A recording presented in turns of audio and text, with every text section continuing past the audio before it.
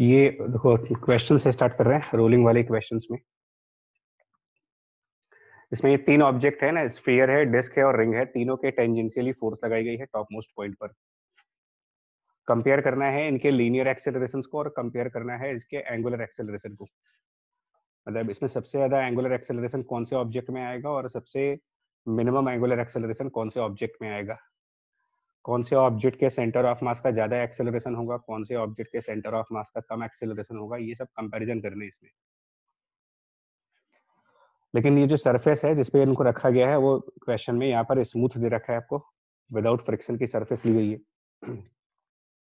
तो without friction वाली surface अगर कंसिडर करेंगे तो यहाँ पर गिवन फोर्स एफ़ के अलावा, जो गिवन फोर्स है, उसके अलावा ऑब्वियसली इसमें एम की फोर्सेस लगेंगी और ग्राउंड से नॉर्मल रिएक्शन फोर्सेस आएगा बट ये नॉर्मल और एम कैंसिल आउट कर जाएँगे वर्टिकल डायरेक्शन के होने की वजह से। तो तीनों ही ऑब्जेक्ट्स में ग्रेविटी की फोर्स और नॉर्मल रिएक्शन की forces balance N equal to M so जो भी अनबैलेंस फोर्स है, वो अप्लाइड फोर्स कैपिटल एफ़ ही रहा हमारे पास।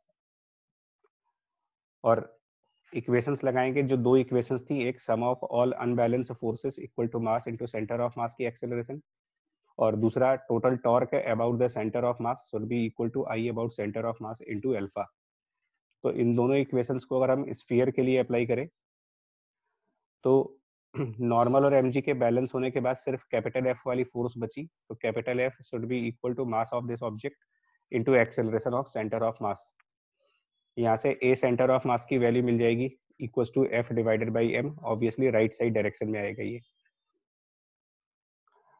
टॉर्क निकालेंगे मतलब अल्फ़ा निकालने के लिए torque divided by moment of inertia वाली इक्वेशन लगाएँगे। तो torque about centre of mass अगर कैलकुलेट करें तो फ़र्स्ट केस में सेंटर ऑफ़ मास से जो अप्लाइड फोर्स एफ़ है, उसका perpendicular distance radius of sphere R के equal so torque F multiplied by capital R equal to sphere का उसके सेंटर ऑफ़ मास वाली एक्सिस के अबाउट मोमेंट ऑफ़ इनर्शिया जो कि two upon five M R square multiplied by alpha यहाँ से alpha की वैल्यू निकालोगे। स्फीयर के केस में it is equal to five F divided by two M R और टॉर्क की डायरेक्शन अगर हम देखें मतलब उसका सेंस चेक करें अगर तो टेंजेंट के अलॉन्ग जो फोर्स लगा रहे हैं राइट साइड डायरेक्शन में, इसकी torque relative to the centre of sphere clockwise direction में आएगी। दैट मीन्स कि इसमें अल्फ़ा क्लॉकवाइज डायरेक्शन में अपियर होगा। और बाकी के दो सिमिलर प्रोसेस से अपने आप करो क्योंकि कहाँ पर चेंज आएगा ये अपने आप देख सकते हो। इस पूरे वर्किंग में जो वर्किंग हमने स्फीयर के लिए करी है यही वर्किंग अगर ऑफ़ इनर्शिया में आएगा चेंज तो क्या फ़र्क आएगा बताएँ? तो जिसका ज़्यादा मोमेंट ऑफ़ इनर्शिया उसका ज़्यादा होगा अल्फ़ा सर हाँ। उसका कम होगा अल्फ़ा तो कम होगा उसका। यस सर उतना इजी रहेगा उसका। ओके तो क्या ये कह सकते हैं कि सेंटर ऑफ़ मास की एक्सेलरेशन तीनों केसेस में सेम आएगी कि- Yes, क्योंकि sir. यस सर अल्फ़ा में फ़र्क आएगा ना? दैट मीन्स तीनों केसेस में सेंटर ऑफ़ मास का एक्सेलरेशन एफ़ बाई एम के बराबर ही होगा क्योंकि उसमें मोमेंट ऑफ़ इनर्शिया का कोई इन्वॉल्वमेंट नहीं है। टॉर्क वाली इक्वेशन में मोमेंट ऑफ़ इनर्शिया की इन्वॉल्वमेंट है जिसकी वजह से एंगुलर एक्सेलरेशन की वैल्यूज़ डिफर कर जाएँगी। इवन टॉर्क भी सेम आएगा बिकॉज़ रेडियस सेम है तो force into distance torque same है बट डिस्क में moment of inertia centre of mass के about half M R square रखोगे इनटू अल्फ़ा और रिंग वाले केस में भी सेम टॉर्क आएगा, but moment of inertia ring वाले केस में हो जाएगा M R square into alpha. तो एल्फा रिंग वाले केस में बन जाएगा F divided by M R clockwise direction में। डिस्क वाले केस में अल्फ़ा की वैल्यू बन जाएगी two F divided by M R clockwise direction में। अब आप ये बताओ, ठीक है, इससे क्लियर होगा कि सबसे ज़्यादा अल्फ़ा किसका आ रहा है, इसमें से अगर नोटिस करा जाए, इन तीनों ऑब्जेक्ट में सबसे ज़्यादा एंगुलर एक्सेलरेशन रिज़ल्ट सामने रखे हुए स्फीयर 2.5 आ रहा है 5 बाई 2 मतलब 2 स्फीयर का। स्फीयर का. ठीक है राइट और उसके बाद डिस्क का है और लास्ट में रिंग का मोमेंट ऑफ़ इनर्शिया उसका अल्फ़ा एक बात ये बताओ इनमें से कौन सा केस रोलिंग विदाउट स्लिपिंग है कौन सा केस स्किड करने वाला है और कौन सा केस स्लिप करने वाला है? कंपेयर करके देखो फ़र्स्ट केस में। और कंपैरिजन इससे करो आप पहले वाले केस में ए सेंटर ऑफ़ मास और आर अल्फ़ा का कंपैरिजन करो आप। कौन सी वैल्यू बड़ी हो रही है इसमें से? ए सेंटर ऑफ़ मास की वैल्यू ज़्यादा है या फिर आर इंटू अल्फ़ा की वैल्यू ज़्यादा आ रही है? Third case rolling without slipping का है। फ़र्स्ट में क्या है? कौन सी चीज़ ज़्यादा आ रही है? सेंटर ऑफ़ मास की एक्सेलरेशन ज़्यादा आ रही है या फिर आर और अल्फ़ा का प्रोडक्ट ज़्यादा आ रहा है? क्या बोलोगे? स्लिप कर रही है स्लिपिंग हो रही है। स्लिपिंग हो रही है। स्लिप कर रहा है। सेकंड वाले में? सेकंड वाले इसमें भी स्लिपिंग कर रहा है। इसमें भी सर Slipping स्लिप हो। कर रहा है। इसमें भी डिस्क स्लिप कर जाएगा पीछे की तरफ़ तो इसमें भी बॉडी स्लिप कर जाएगी लेकिन थर्ड वाले में अगर आप देखोगे ना प्योर रोलिंग हाँ तो ए सेंटर ऑफ़ मास की वैल्यू आर अल्फ़ा से मैच कर रही है। इसका मतलब यहाँ पर रोलिंग विदाउट स्लिपिंग जिसको प्योर रोलिंग भी कह सकते हो। तो इसका मतलब ये भी इसका मतलब एक और इलस्ट्रेशन आ गया जिसमें ये पॉसिबल है कि फ्रिक्शनलेस सरफेस के ऊपर हम ऑब्जेक्ट को प्योर रोलिंग करा सकते हैं बट वो ऑब्जेक्ट रिंग होना चाहिए। और फोर्स उसकी टेंजेंट पे लगा होना चाहिए। मतलब पॉसिबिलिटी है। स्मूथ सरफेस पर प्योर रोलिंग की एक पॉसिबिलिटी सामने दिख रही है मुझे।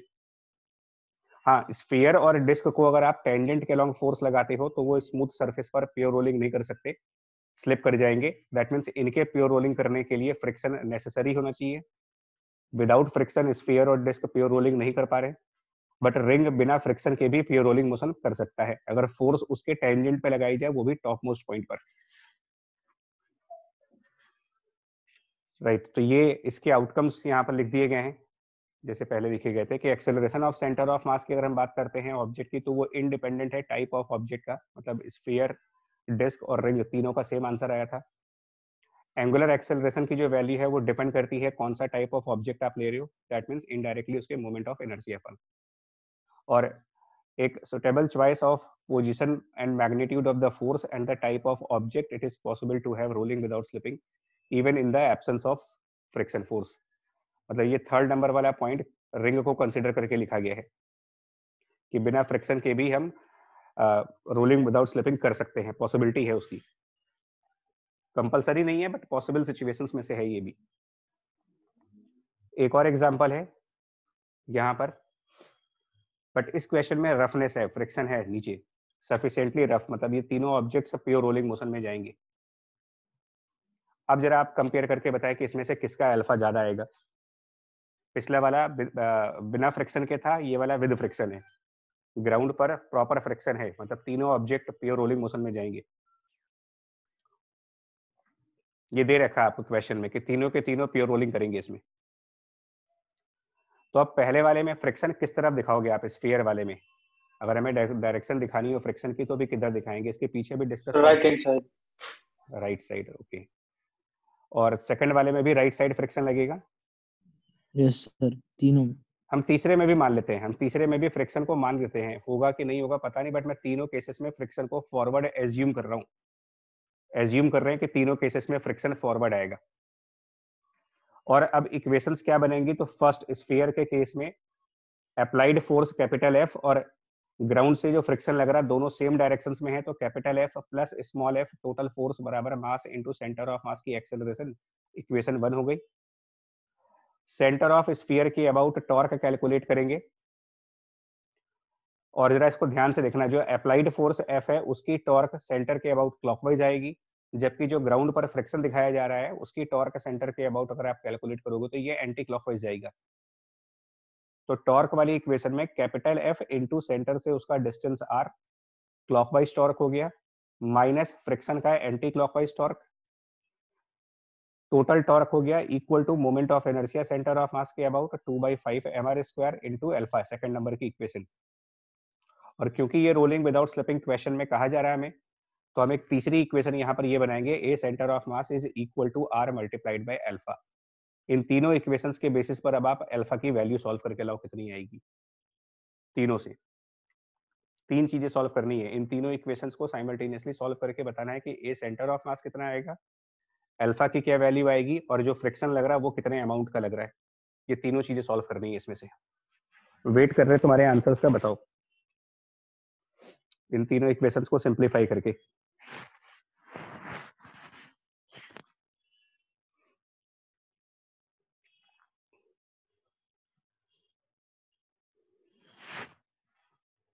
जिसका भी आंसर आ जाए बोल सकता है पहले जिसका भी आंसर पहले आ जाए। कोई भी एक आंसर अगर आ गया हो तो बता सकते हो। फ्रिक्शन आ गया हो अल्फ़ा आ गया हो एसीएम आ गया हो कोई भी answer. Sir alpha 5 into f minus f upon f plus upon 2 नहीं, into नहीं, f नहीं। plus फ्रिक्शन के फॉर्म में आंसर ही दे सकते हैं ना बिकॉज़ फ्रिक्शन अपने आप में अननोन चीज़ है भाई। Okay sir okay sir. Friction को सॉल्व हैं। क्योंकि फ्रिक्शन यहाँ पर स्टैटिक है रोलिंग विदाउट स्लिपिंग पढ़ रहे हो। आप ध्यान से सुनना। स्टैटिक फ्रिक्शन की स्टैटिक फ्रिक्शन भी एक तरीके से प्रॉब्लम्स में अननोन की तरीके से काम करता है क्योंकि उसको म्यू इंटू एल तो लिख नहीं सकते। Shubhankar ji friction sir alpha की वैल्यू 10 प्लस 7 एमआर आ रही है। एक एक सेकंड बच्चा एक मिनट सुबह बताओ क्या आ रही थी? फ्रिक्शन फ्रिक्शन आ रहा है three F by seven okay sphere के केस में। स्फीयर वाले केस में three F by seven positive आ रहा है इसका मतलब आज डायरेक्शन सही मानी गई है। और इसके हिसाब से फिर एक्सेलरेशन सेंटर ऑफ़ मास का जो आएगा वो टेन एफ़ अपॉन एम आ जाएगा। एक मिनट नहीं ten F upon seven M और फ्रिक्शन की अल्फ़ा की वैल्यू आ जाएगी ten F divided by seven M into R ये वैल्यू बन जाएगी इसकी। यही आंसर बोल रहे थे आप लोग? या कुछ और आंसर्स थे? यस सर यही है। यही आंसर ठीक है ना? ओके फटाफट करें यहाँ जल्दी जल्दी ना। क्योंकि देखो जा, मैं जानबूझ करके तीनों प्रॉब्लम्स एक साथ करा रहा हूँ ताकि आपको ये डिफरेंसेस भी पता चलते रहे कि ऑब्जेक्ट बदलने से क्या फ़र्क पड़ता है। डिस्क वाले में भी हमारी फ़र्स्ट इक्वेशन सेम रहेगी। फ़र्स्ट इक्वेशन में कोई फ़र्क नहीं है डिस्क में। सेकंड इक्वेशन में ही फ़र्क आएगा और वो भी सिर्फ़ राइट हैंड साइड पर मोमेंट ऑफ़ एनर्जिया के टर्म में फ़र्क आएगा। टू बाई फाइव की जगह हाफ़ हो जाएगा वहाँ पर। हाफ़ है हमारे स्क्वायर रेस्ट ऑल चीज़ बिल्कुल आइडेंटिकल चलेगी। और तीसरा ए सेंटर ऑफ़ मास बराबर आर अल्फ़ा इनको भी सॉल्व करोगे? तो आंसर्स इनके जो आएँगे ए सी एम अल्फ़ा और फ्रिक्शन के।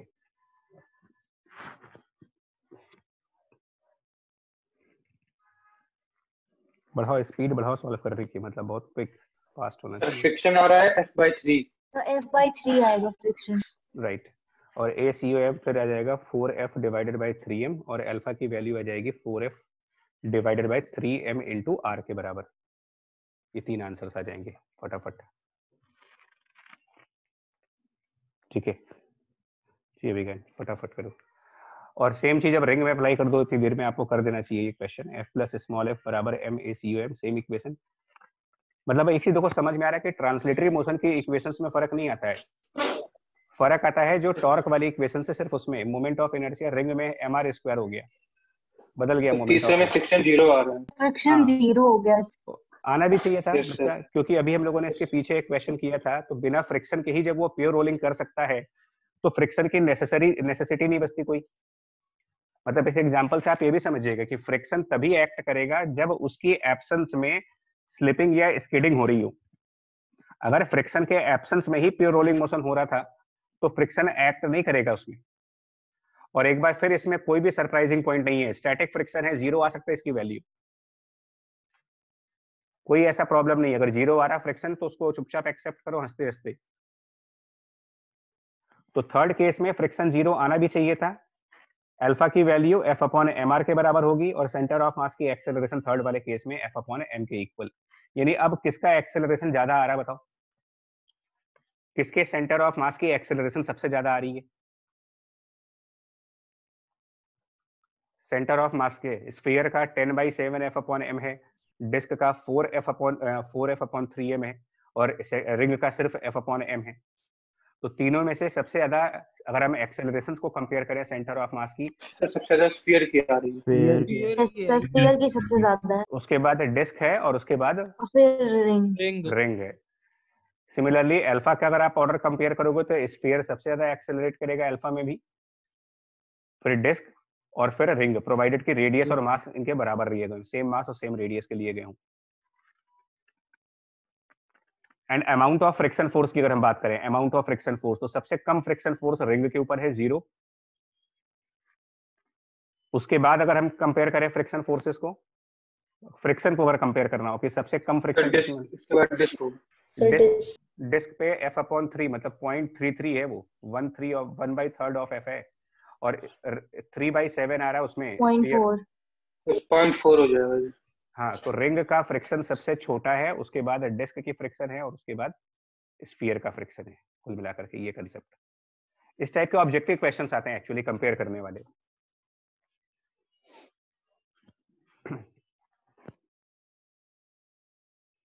जबकि पिछले वाले केस में देखोगे ना तो अल्फ़ा सबसे ज़्यादा किसका आया था यार?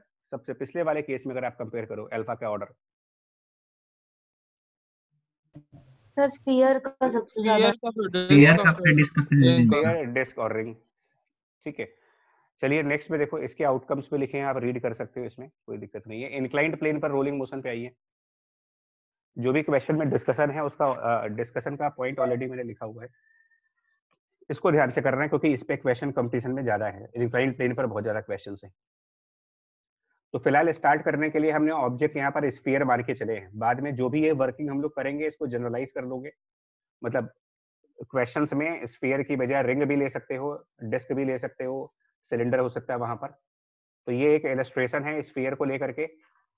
जो भी वर्किंग यहाँ पर करेंगे सिमिलर वर्किंग आप कॉपी कर लेना फॉर अदर ऑब्जेक्ट्स तो मास और रेडियस इसका दे रखा है रिलीज्ड फ्रॉम द रेस्ट है। इनिशियल इनिशियली ये रेस्ट की स्टेट पर दे रखा गया है यहाँ पर क्वेश्चन में। और ये भी दे रखा है कि ये रोल्स विदाउट स्लिपिंग है, ये गिवन है। ये चीज़ क्वेश्चन में दी जाएगी। मैंने कहा था 95 परसेंट ज़्यादा क्वेश्चन ऐसे ही आएँगे। अभी ना देखो भी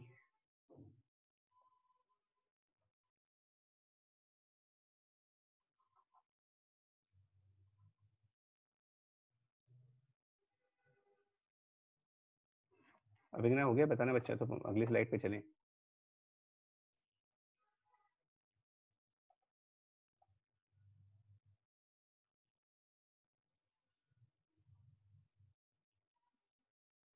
अभिज्ञा जी, हो गया? ठीक है। नेक्स्ट पे आओ बच्चे, जल्दी से। देखो, इसमें तीन चार पार्ट्स हैं, काफ़ी लेंदी क्वेश्चन है डिस्कशन करने के लिए। पहले नंबर के पॉइंट पर आपको तो इसकी लीनियर एक्सेलरेशन यानी कि सेंटर ऑफ़ मास की एक्सेलरेशन बतानी है और अल्फ़ा बताना है। पहले पहले पार्ट में। फिर दूसरे पार्ट में मैग्नीट्यूड और डायरेक्शन ऑफ़ फ्रिक्शन फोर्स क्या होगा, ये बताना है। तीसरे में minimum value of coefficient of static friction क्या होगी?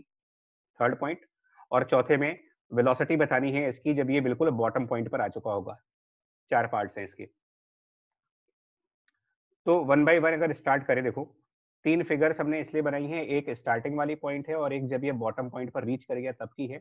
हम लोग इंटरमीडिएट पॉइंट पर इसके फ्री बॉडी डायग्राम्स को ड्रॉ करते हैं फोर्सेस को।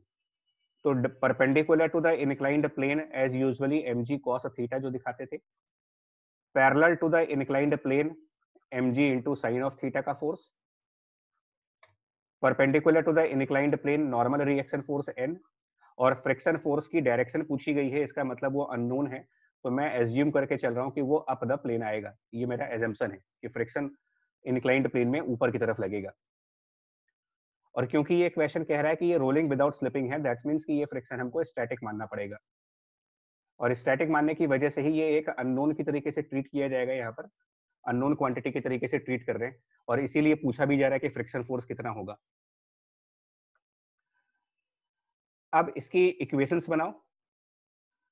तो एक ट्रांसलेशन की इक्वेशन सुनना मतलब एक इक्वेशन आप इसके ट्रांसलेशन वाली बनाओगे तो ट्रांसलेशन वाली इक्वेशन में down the plane M G sine theta वाली फोर्स और अप द प्लेन फ्रिक्शन वाली फोर्स तो एम जी साइन थीटा जो कि डाउन द प्लेन और minus up the plane friction force total force बराबर mass into centre of mass की acceleration M first equation फिर इसके रोटेशन की इक्वेशन बनाएँगे मतलब torque equal to I alpha वाली इक्वेशन जिसमें टॉर्क हम कैलकुलेट करेंगे इसके सेंटर ऑफ़ मास के अबाउट जितनी भी फोर्सेस आपको डायग्राम में दिख रही हैं इनमें से कौन कौन सी फोर्सेस ऐसी हैं जो सेंटर ऑफ़ मास के थ्रू पास होते जा रही है?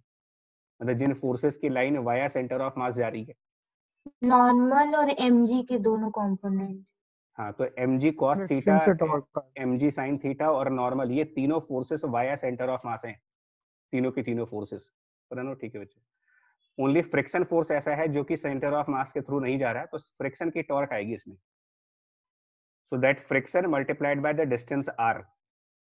Friction और उसका सेंटर ऑफ़ मास से perpendicular distance r equal to the moment of inertia sphere का 2 by five M R square और मल्टीप्लाइड बाई अल्फ़ा ये सेकंड इक्वेशन अब इसको ध्यान देना मैंने क्योंकि अभी कहा था ना आपसे कि क्वेश्चन में स्फीयर की बजाय अगर हम डिस्क चूज़ कर लेते इसी सेम प्रॉब्लम में तो सिर्फ़ सेकंड इक्वेशन में मोमेंट ऑफ़ इनर्शिया का टर्म बदल जाता है यहाँ पर. Two by five M R square की जगह पर हम डिस्क के मोमेंट ऑफ़ इनर्शिया की वैल्यू पुट कर रहे होते और तीसरी इक्वेशन यहाँ पर, क्योंकि ये रोलिंग कर रहा है, वो भी विदाउट स्लिपिंग कर रहा है प्योर रोलिंग हो रही है ये तो थर्ड इक्वेशन इस बेसिस पर बन जाएगी कि ए सेंटर ऑफ़ मास की वैल्यू बराबर होनी चाहिए आर इंटू एल्फा की।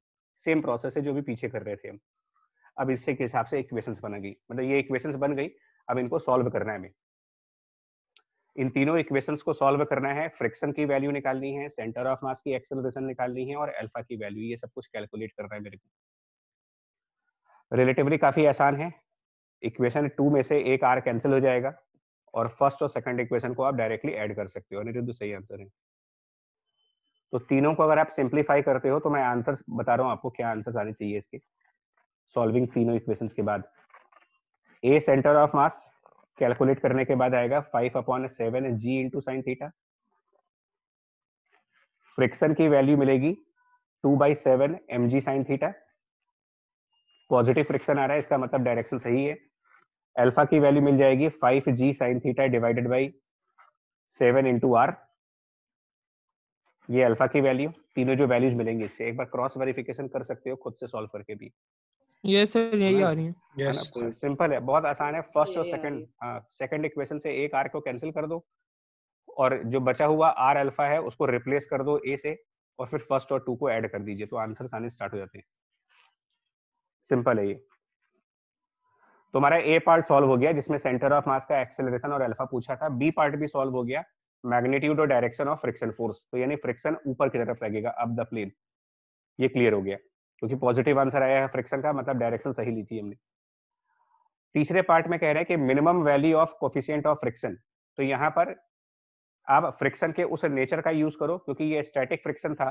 तो थर्ड पार्ट के लिए जो कंसेप्ट लगाने जा रहे हैं वो ये कि any static friction force has to be more than zero but has to be less than mu S multiplied by the normal reaction तो यहाँ से हम कह सकते हैं कि mu S is always more than और equal to the friction value divided by the normal reaction force और यहाँ से हम म्यू एस की मिनिमम वैल्यू निकालने के लिए हम फ्रिक्शन को नॉर्मल से डिवाइड करेंगे, यानी friction divided by the normal reaction और ये जो नॉर्मल रिएक्शन है, ये equal to M G cos theta के है बैलेंस कर रहा है। और फ्रिक्शन कैलकुलेट किया गया है two by seven M G sine theta तो फ्रिक्शन है two by seven M G sine of theta and divided by normal reaction force M G cos theta simplify करेंगे तो यहाँ से म्यू की जो मिनिमम पॉसिबल वैल्यू बन रही है वो हो जाएगी। So 2 by 7 tan tan theta. By seven tan theta Tan theta. Right two two by seven of tan theta ये इसकी मिनिमम वैल्यू है। Two by seven tan theta मतलब कि इससे कम कोफिशिएंट ऑफ़ फ्रिक्शन पर रोलिंग विदाउट स्लिपिंग पॉसिबल नहीं है, ध्यान रखना। Minimum value of coefficient of friction का मतलब अगर फ्रिक्शन इससे छोटा हुआ कोफिशियंट ऑफ़ फ्रिक्शन की value two by seven tan theta से अगर कम हो गई तो ये स्फीयर रोलिंग विदाउट स्लिपिंग नहीं करेगा। या तो ये स्लिप करेगा, या तो ये स्किड करेगा। वो हमें चेक करना पड़ेगा अभी कि वो स्लिप होगा कि स्किड होगा। Two by seven tan theta से अगर कम है कोफिशियंट ऑफ़ फ्रिक्शन तब। और लास्ट पार्ट के लिए जो लास्ट पार्ट है उसके लिए क्या करेंगे देखो। लास्ट पार्ट कह रहे हैं कि जब ये सेंटर ऑफ़ मास स्फीयर का जो सेंटर ऑफ़ मास है जब वो एच डिस्टेंस वर्टिकली नीचे आ गया तो इसमें कितनी लीनियर वेलोसिटी है और कितनी एंगुलर वेलोसिटी है। तो लास्ट वाले हाँ last part conservation of energy पे हो जाएगा। स्पीड निकालनी है तो है। तो इनिशियल मोमेंट पर जब ये रेस्ट पे था तो आप ये कह सकते हो कि इनिशियल मोमेंट पर काइनेटिक एनर्जी की वैल्यू ज़ीरो और इसको रेफरेंस मान लेते हैं तो पोटेंशियल एनर्जी भी ज़ीरो हो जाएगा यहाँ पर, अगर हम इनिशियल लेवल को रेफरेंस सेट कर दे पोटेंशियल एनर्जी का।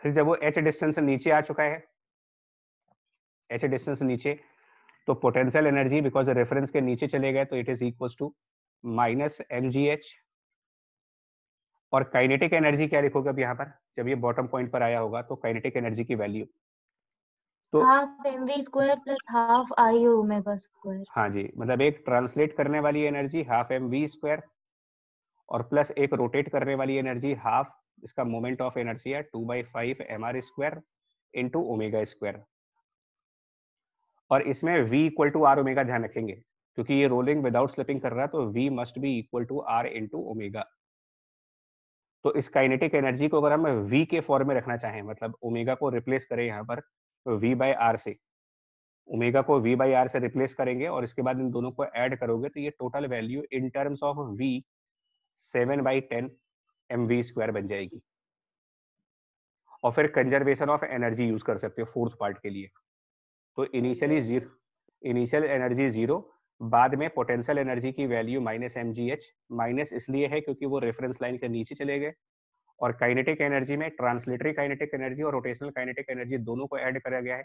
Seven by ten M V square इसको सिंप्लीफाई करेंगे तो यहाँ से v की जो वैल्यू मिल जाएगी वो root of ten G H by seven और फिर ओमेगा भी आ जाएगा इसमें क्योंकि ओमेगा। वी हाँ जी। सर यहाँ पे फ्रिक्शन इन्वॉल्व था तो मैकेनिकल एनर्जी को लॉस नहीं होगा। बच्चा तुम शायद पिछली क्लास को रिवाइज नहीं किए हो। सर उसका वर्क डन ज़ीरो सही ज़ीरो होगा। सर पिछली क्लास में दिखा था कि हाँ हाँ, मतलब याद दिलाना पड़ता है ना वो हथौड़ा चलाना पड़ता है। कि फ्रिक्शन से वर्क नहीं हो रहा है यहाँ पर वो प्रीवियस क्लास में एक्सप्लेन्ड है। स्टैटिक फ्रिक्शन जहाँ है तो वहाँ पर कोई दिक्कत वाली बात नहीं है। तो ये कुल मिला करके आंसर्स हैं अब आप यही वर्किंग दूसरे बॉडीज के लिए भी कर लेना। मोमेंट ऑफ़ एनर्जिया को चेंज करके। तो जो भी इसके रिजल्ट्स हैं, वो एक आउटकम के फॉर्म में एक बार फिर से स्पेसिफाइड है, क्योंकि आप जैसे लोगों के बारे में हमको पता है कि कहीं ना कहीं फंसोगे। तो इसमें काफ़ी सारे पॉइंट है। पहला पॉइंट क्या कहा गया है? देखो, जो हम लोगों ने अभी स्पीड कैलकुलेट की है या फिर जो एक्सेलरेशन कैलकुलेट की है सेंटर ऑफ़ मास की, वो मास के इंडिपेंडेंट है, पहली चीज़। ध्यान रखना। अब इस पे ऑब्जेक्टिव क्वेश्चंस बनेंगे। जो भी आपका आंसर है, देखो, इस पूरे आंसर में मास का टर्म सिर्फ़ एक जगह पर इन्वॉल्व है। जितने भी आंसर्स हमने लिखे हैं उन आंसर्स में अगर आप ध्यान से देखो तो मास ऑफ़ ऑब्जेक्ट कहाँ पर अपियर हो रहा है? कौन से आंसर में? फ्रिक्शन में। सिर्फ़ सिर्फ़ फ्रिक्शन में। इसका मतलब फ्रिक्शन के अलावा सेंटर ऑफ़ मास की एक्सेलरेशन में मास का कोई टर्म नहीं है। अल्फ़ा में मास का कोई टर्म नहीं है। जो फाइनल स्पीड निकाली है उसमें भी मास इन्वॉल्व नहीं है। ओमेगा में भी मास इन्वॉल्व नहीं है। तो यही पॉइंट एज अ ऑब्जर्वेशन यहाँ पर कहा जा रहा है आपसे। कि जो स्पीड और एक्सेलरेशन है सेंटर ऑफ़ मास की, वो इंडिपेंडेंट ऑफ़ द मास है इवन द रेडियस के भी इंडिपेंडेंट है वो। देखिए आप, स्पीड में रेडियस का टर्म नहीं है ओमेगा में है रेडियस का टर्म अल्फ़ा में रेडियस का टर्म है। लेकिन अगर आप सेंटर ऑफ़ मास के लीनियर एक्सेलरेशन और वी सिर्फ़ इन दोनों के बारे में देखो तो इन दोनों में ना तो मास इन्वॉल्व है, ना तो रेडियस इन्वॉल्व है। मतलब क्या हुआ इसका? कि चाहे एक छोटा स्फीयर लेके आओ, चाहे एक बड़ा स्फीयर लेके आओ, दोनों के सेंटर ऑफ़ मास का सेम एक्सेलरेशन आएगा, दोनों के फाइनल स्पीड भी सेम आ जाएगी। तो जितने भी यूनिफॉर्म स्फीयर्स होंगे, जितने भी यूनिफॉर्म स्फीयर्स हैं, वो सब एक ही स्पीड और एक ही एक्सेलरेशन पे चलेंगे on a given inclined plane मतलब कि थीटा वेरिएबल ना हो वहाँ पर। सेम इनक्लाइंड प्लेन पर अगर हम एक बड़ा स्फीयर और एक छोटा स्फीयर लेके आए, जिनके मासेस डिफरेंट है रेडियस डिफरेंट है तो भी छोटे स्फीयर और बड़े स्फीयर दोनों के सेंटर ऑफ़ मास की सेम एक्सेलरेशन मिल जाएगी आपको और दोनों की फाइनल स्पीड भी सेम आएगी बिकॉज़ इन दोनों एक्सप्रेशन में ना तो एम इन्वॉल्व है, ना तो रेडियस इन्वॉल्व है। मतलब कि साइज़ ऑफ़ स्फीयर मैटर नहीं करेगा और उसकी डेंसिटी मैटर नहीं करती है कि वो लाइट डेंसिटी का है या फिर हैवियर डेंसिटी का स्फीयर है। मतलब प्लास्टिक का स्फीयर है या फिर आयरन का स्फीयर है, ये मैटर नहीं करता। मैटर सिर्फ़ ये करता है कि वो एक स्फीयर है। छोटा है, बड़ा है, हल्का है, भारी है, ये सब फ़र्क नहीं पड़ता हमें। सेकेंड नंबर पॉइंट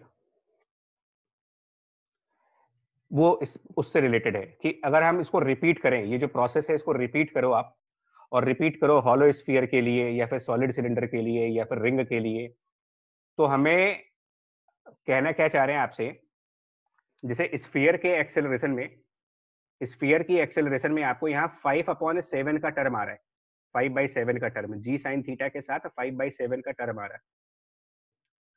तो सेकंड नंबर पॉइंट ये कहना चाह रहा हूँ मैं कि स्फीयर की बजाय अगर यहाँ पर रिंग रिंग होता, या स्फीयर की बजाय यहाँ डिस्क होती सिलेंडर होता हॉलो स्फीयर होता, तब भी मेरा एक्सेलरेशन का रिज़ल्ट ऐसा ही आता मतलब जी साइन थीटा तब भी मेरे को मिलता सिर्फ़ इसके साथ आने वाला ये कोफिशियंट फाइव अपॉन सेवन जो है, ये दूसरे बॉडीज के लिए अलग वैल्यू का आएगा। हो सकता है डिस्क में फाइव बाई सेवन की बजाय कोई और नंबर आ जाए रिंग में फाइव अपॉन सेवन की जगह कोई और नंबर आ जाए कोफिशियंट्स बदल जाएँगे इसके सिर्फ़। यह है सेकंड नंबर का point that only the factor in front of G sine theta would differ मतलब जी साइन थीटा के सामने जो फाइव अपॉन सेवन देख रहे थे, वो फैक्टर बदलेगा। और वो फैक्टर कितना आएगा ना, वो बेसिकली डिपेंड करेगा इसके मोमेंट ऑफ़ एनर्सिया के ऊपर। तो भी एक क्वेश्चन और करेंगे इसके लिए लेकर के सेकंड नंबर पॉइंट को समझाने के लिए। तीसरा एक्सेलरेशन की वैल्यू जी साइन थीटा से हमेशा कम आएगी। बिकॉज़ अभी आप लोगों ने कैलकुलेट किया तो ये फाइव अपॉन सेवन है मतलब जी साइन थीटा से तो कम ही आ रहा है। हमेशा ही होगा, चाहे कोई भी ऑब्जेक्ट लेके आओ।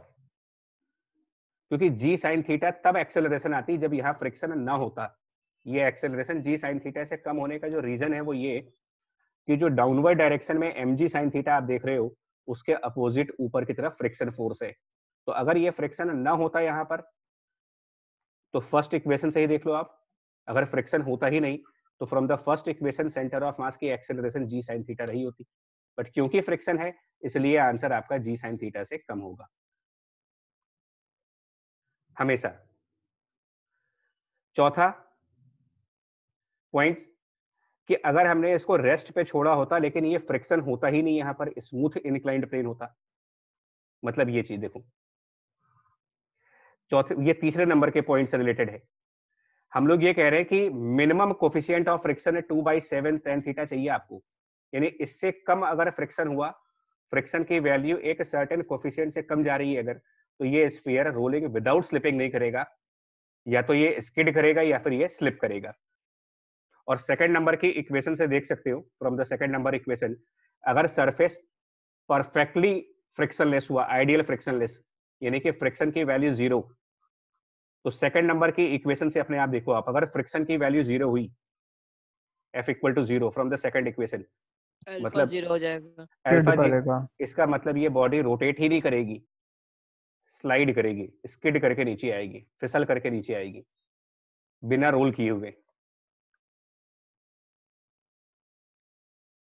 और तब उसका एक्सेलरेशन जी साइन थीटा होगा। No rotation can occur in this case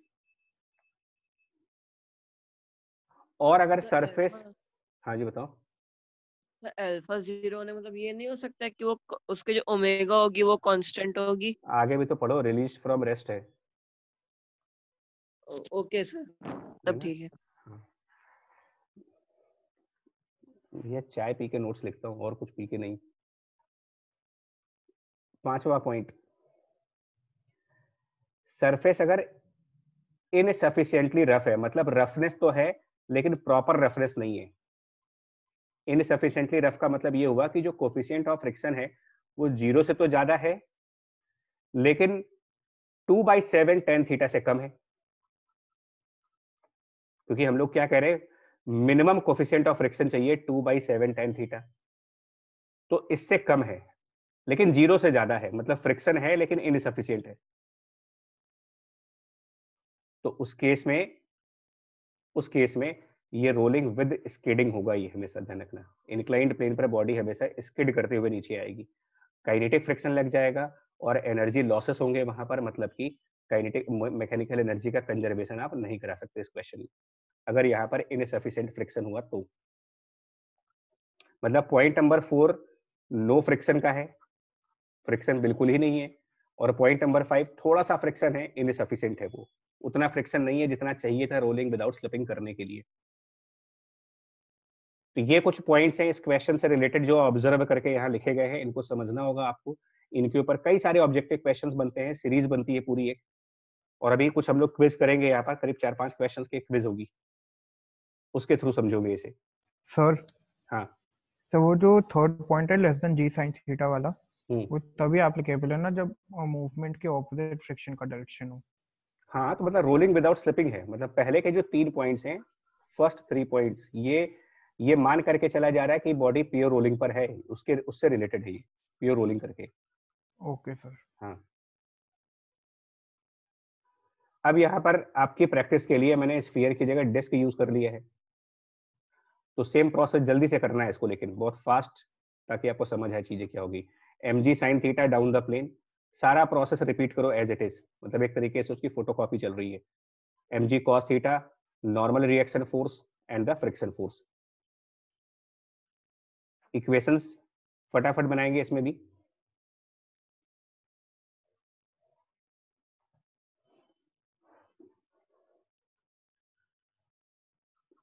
Shivansh question practice के लिए और मिल जाएँगे M G sine theta minus F equal to M A centre of mass first equation then friction into R torque disc का moment of inertia half M R square alpha और तीसरा A C M equal to R alpha अब answer तुम ही लोग लाओगे बताओ जल्दी से। Sir ACM two by three G sine theta okay good और आंसर सर बताओ two by three G sine theta आ रहा है। Sir friction force one by three M G sine theta okay तो एक साथ देखो ए सी एम फिर से जी साइन थीटा से कम हुआ ना? और यही चीज़ कही जा रही थी कि इसकी in front of G sine theta जो फाइव अपॉन सेवन स्फीयर में आ रहा था वहाँ पर टू बाई थ्री डिस्क में आ रहा है। रिंग में कुछ और आ जाएगा। मतलब यही चीज़ होगी। ठीक है। फ्रिक्शन की वैल्यू आएगी M G sine theta upon three mu minimum आएगा। मैं सारे आंसर नहीं ले रहा हूँ कुछ ही आंसर दे देते हैं। म्यू की मिनिमम वैल्यू अगर कैलकुलेट करेंगे यहाँ पे तो वो आ जाएगी वन बाई थ्री जी नहीं जी नहीं आएगा। सॉरी थीटा सॉरी सॉरी गलती से फ्लो में हाँ निकल गया। कोई दिक्कत नहीं।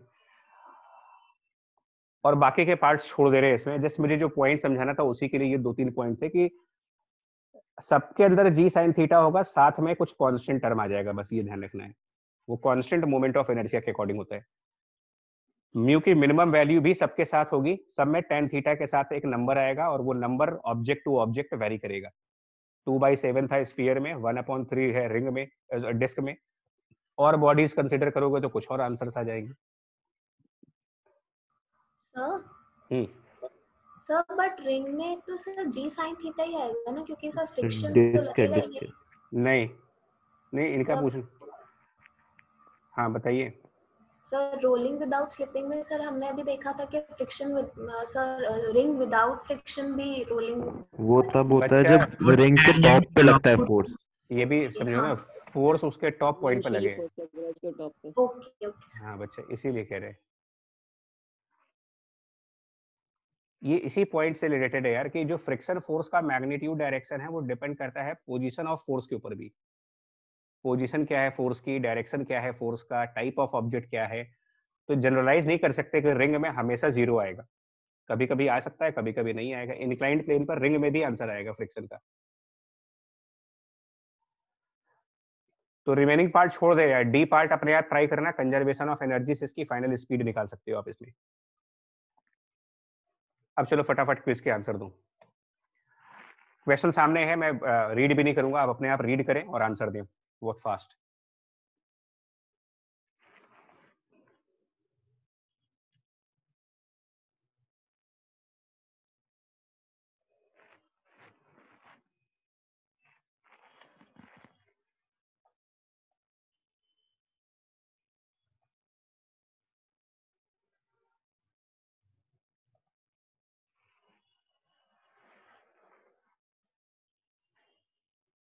जी यस सर कौन सा?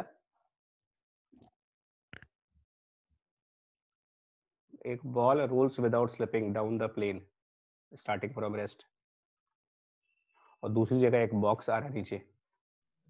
बी सर बॉक्स पहले आ जाएगा। हाँ। ये सब बी बॉक्स जो बॉल है ये तो रोल करके आएगा ना यार। आंसर इसका एक्सेलरेशन जी साइन थीटा से कम होगा। Right right. ये जी साइन थीटा से कम एक्सेलरेट करेगा? इसमें वो जी साइन थीटा से करेगा। और जो बॉक्स है उसके बारे में क्या कहा जा रहा है कि बॉक्स जिस इंक्लाइंड प्लेन पर है। फ्रिक्शनलेस है फ्रिक्शनलेस इसका मतलब बॉक्स तो जी साइन थीटा से करेगा। तो अब क्या आंसर हुआ? कौन बॉटम पर पहले आएगा? बॉक्स ठीक है। नेक्स्ट इसमें बताओ जल्दी से दो सॉलिड स्फीयर को कंपेयर करना है। सर दोनों सेम टाइम सेम टाइम पे आएँगे क्योंकि डिपेंड नहीं करेंगे। करते। मास पे डिपेंड नहीं ठीक है जी हाँ अभी जो पॉइंट डिस्कस कर रहे थे कि जो आंसर था उसमें स्फीयर का मास और रेडियस तो था ही नहीं कहीं पर एक्सेलरेशन में। तो which arrives at the bottom first में क्योंकि एक्सेलरेशन इंडिपेंडेंट था एम और आर के पीछे जो ऑब्जर्वेशन थी हमारी तो उस हिसाब से चाहे आप ट्वाइस वाला मास ले ले चाहे फिर वह रेडियस कर दे फ़र्क नहीं पड़ता both arrive at the same time next इसमें बताए इसमें भी दोनों स्फीयर है लेकिन स्फीयर अरे ध्यान से क्वेश्चन पढ़ लो पहले। मोमेंट ऑफ़ इनर्शिया अलग हो जाएगा। हाँ। अलग हो जाएगा। हाँ तो आंसर बताएँ कौन आएगा बॉटम पर पहले? हॉलो स्फीयर या सॉलिड स्फीयर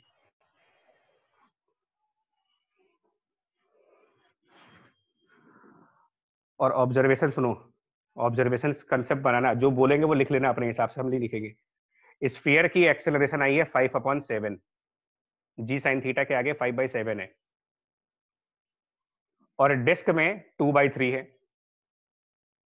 तो जरा यहीं से कंपेयर करो कि स्फीयर और डिस्क में से किसके पास ज़्यादा एक्सेलरेशन है। कंपेयर करो जरा। डिस्क किसके पास? स्फीयर फाइव बाई सेवन था और ये टू बाई थ्री है। डिस्क के पास है। सर स्फीयर के पास है। स्फीयर के पास है। Yes, के पास है सर। ज़ीरो पॉइंट सेवन आएगा ये ज़ीरो Yes, भाई two by three point six seven हो गया और वो फाइव बाई और वो seven point zero Point point seven point पर सेवन मिल समथिंग आएगा। हाँ जी विघ्न जी क्या हो गया भाई यानी स्फीयर के पास ज़्यादा एक्सेलरेशन है तो इससे क्या कंपेयर कनेक्ट हो रहा जिसका मोमेंट ऑफ़ इनर्शिया कम उसकी ज़्यादा एक्सेलरेशन कह सकते हैं क्या कि जिसका मोमेंट ऑफ़ इनर्शिया कम होगा उसके पास एक्सेलरेशन ज़्यादा हो जाएगी? यस सर यस यस भाई स्फीयर का moment of inertia two by five यानी कि point four M R square है? और डिस्क का moment of inertia one upon two यानी कि point five M R square तो जिसके पास कम मोमेंट ऑफ़ इनर्शिया है वो ज़्यादा एक्सेलरेट हो रहा है। यस सर हाँ। तो अब इसी को बेस बनाओ और अब बताओ क्या होगा इसमें से। कंसेप्ट मिल गया आपको। सर ये- हॉलो स्फीयर ए पहले स्फीयर ए पहले सॉलिड वाला। सॉलिड वाला पहले आएगा। सॉलिड्स पे पहले जिसका मोमेंट ऑफ़ इनर्शिया कम उसकी एक्सेलरेशन ज़्यादा। और जिसकी ज़्यादा एक्सेलरेशन उसको बॉटम पर पहुँचने में टाइम लगेगा कम। तो स्फीयर भी के मोमेंट ऑफ़ इनर्शिया कम है। क्यों? सॉलिड वाले का point sir, four M two R by- square और हॉलो वाले का two by three point six तो पॉइंट Point- सिक्स सेवन तो सॉलिड स्फीयर का मोमेंट ऑफ़ इनर्शिया कम है। यानी उसमें ज़्यादा एक्सेलरेशन है। वो जल्दी पहुँच जाएगा नीचे। आंसर हो गया सॉलिड स्फीयर। इस तरीके से इसी टाइप के क्वेश्चंस मैं कह रहा था इनक्लाइंड प्लेन के ऊपर आते हैं। तो होंगे ये तभी जब आप कायदे से ऑब्ज़र्व करके बैठे होगे। नेक्स्ट इसमें बताना ये तीन ऑब्जेक्ट्स को कंपेयर करना है। एक सॉलिड स्फीयर है, एक सॉलिड सिलेंडर है और एक हॉलो सिलेंडर है। मतलब एक हॉलो सिलेंडर एक सॉलिड सिलेंडर और एक सॉलिड स्फीयर तीनों को इनक्लाइंड प्लेन पे छोड़ा गया इनके बीच में एक रेस लगाई गई है। विनर कौन होगा ये बताओ अब आप इस रेस का विनर सबसे ही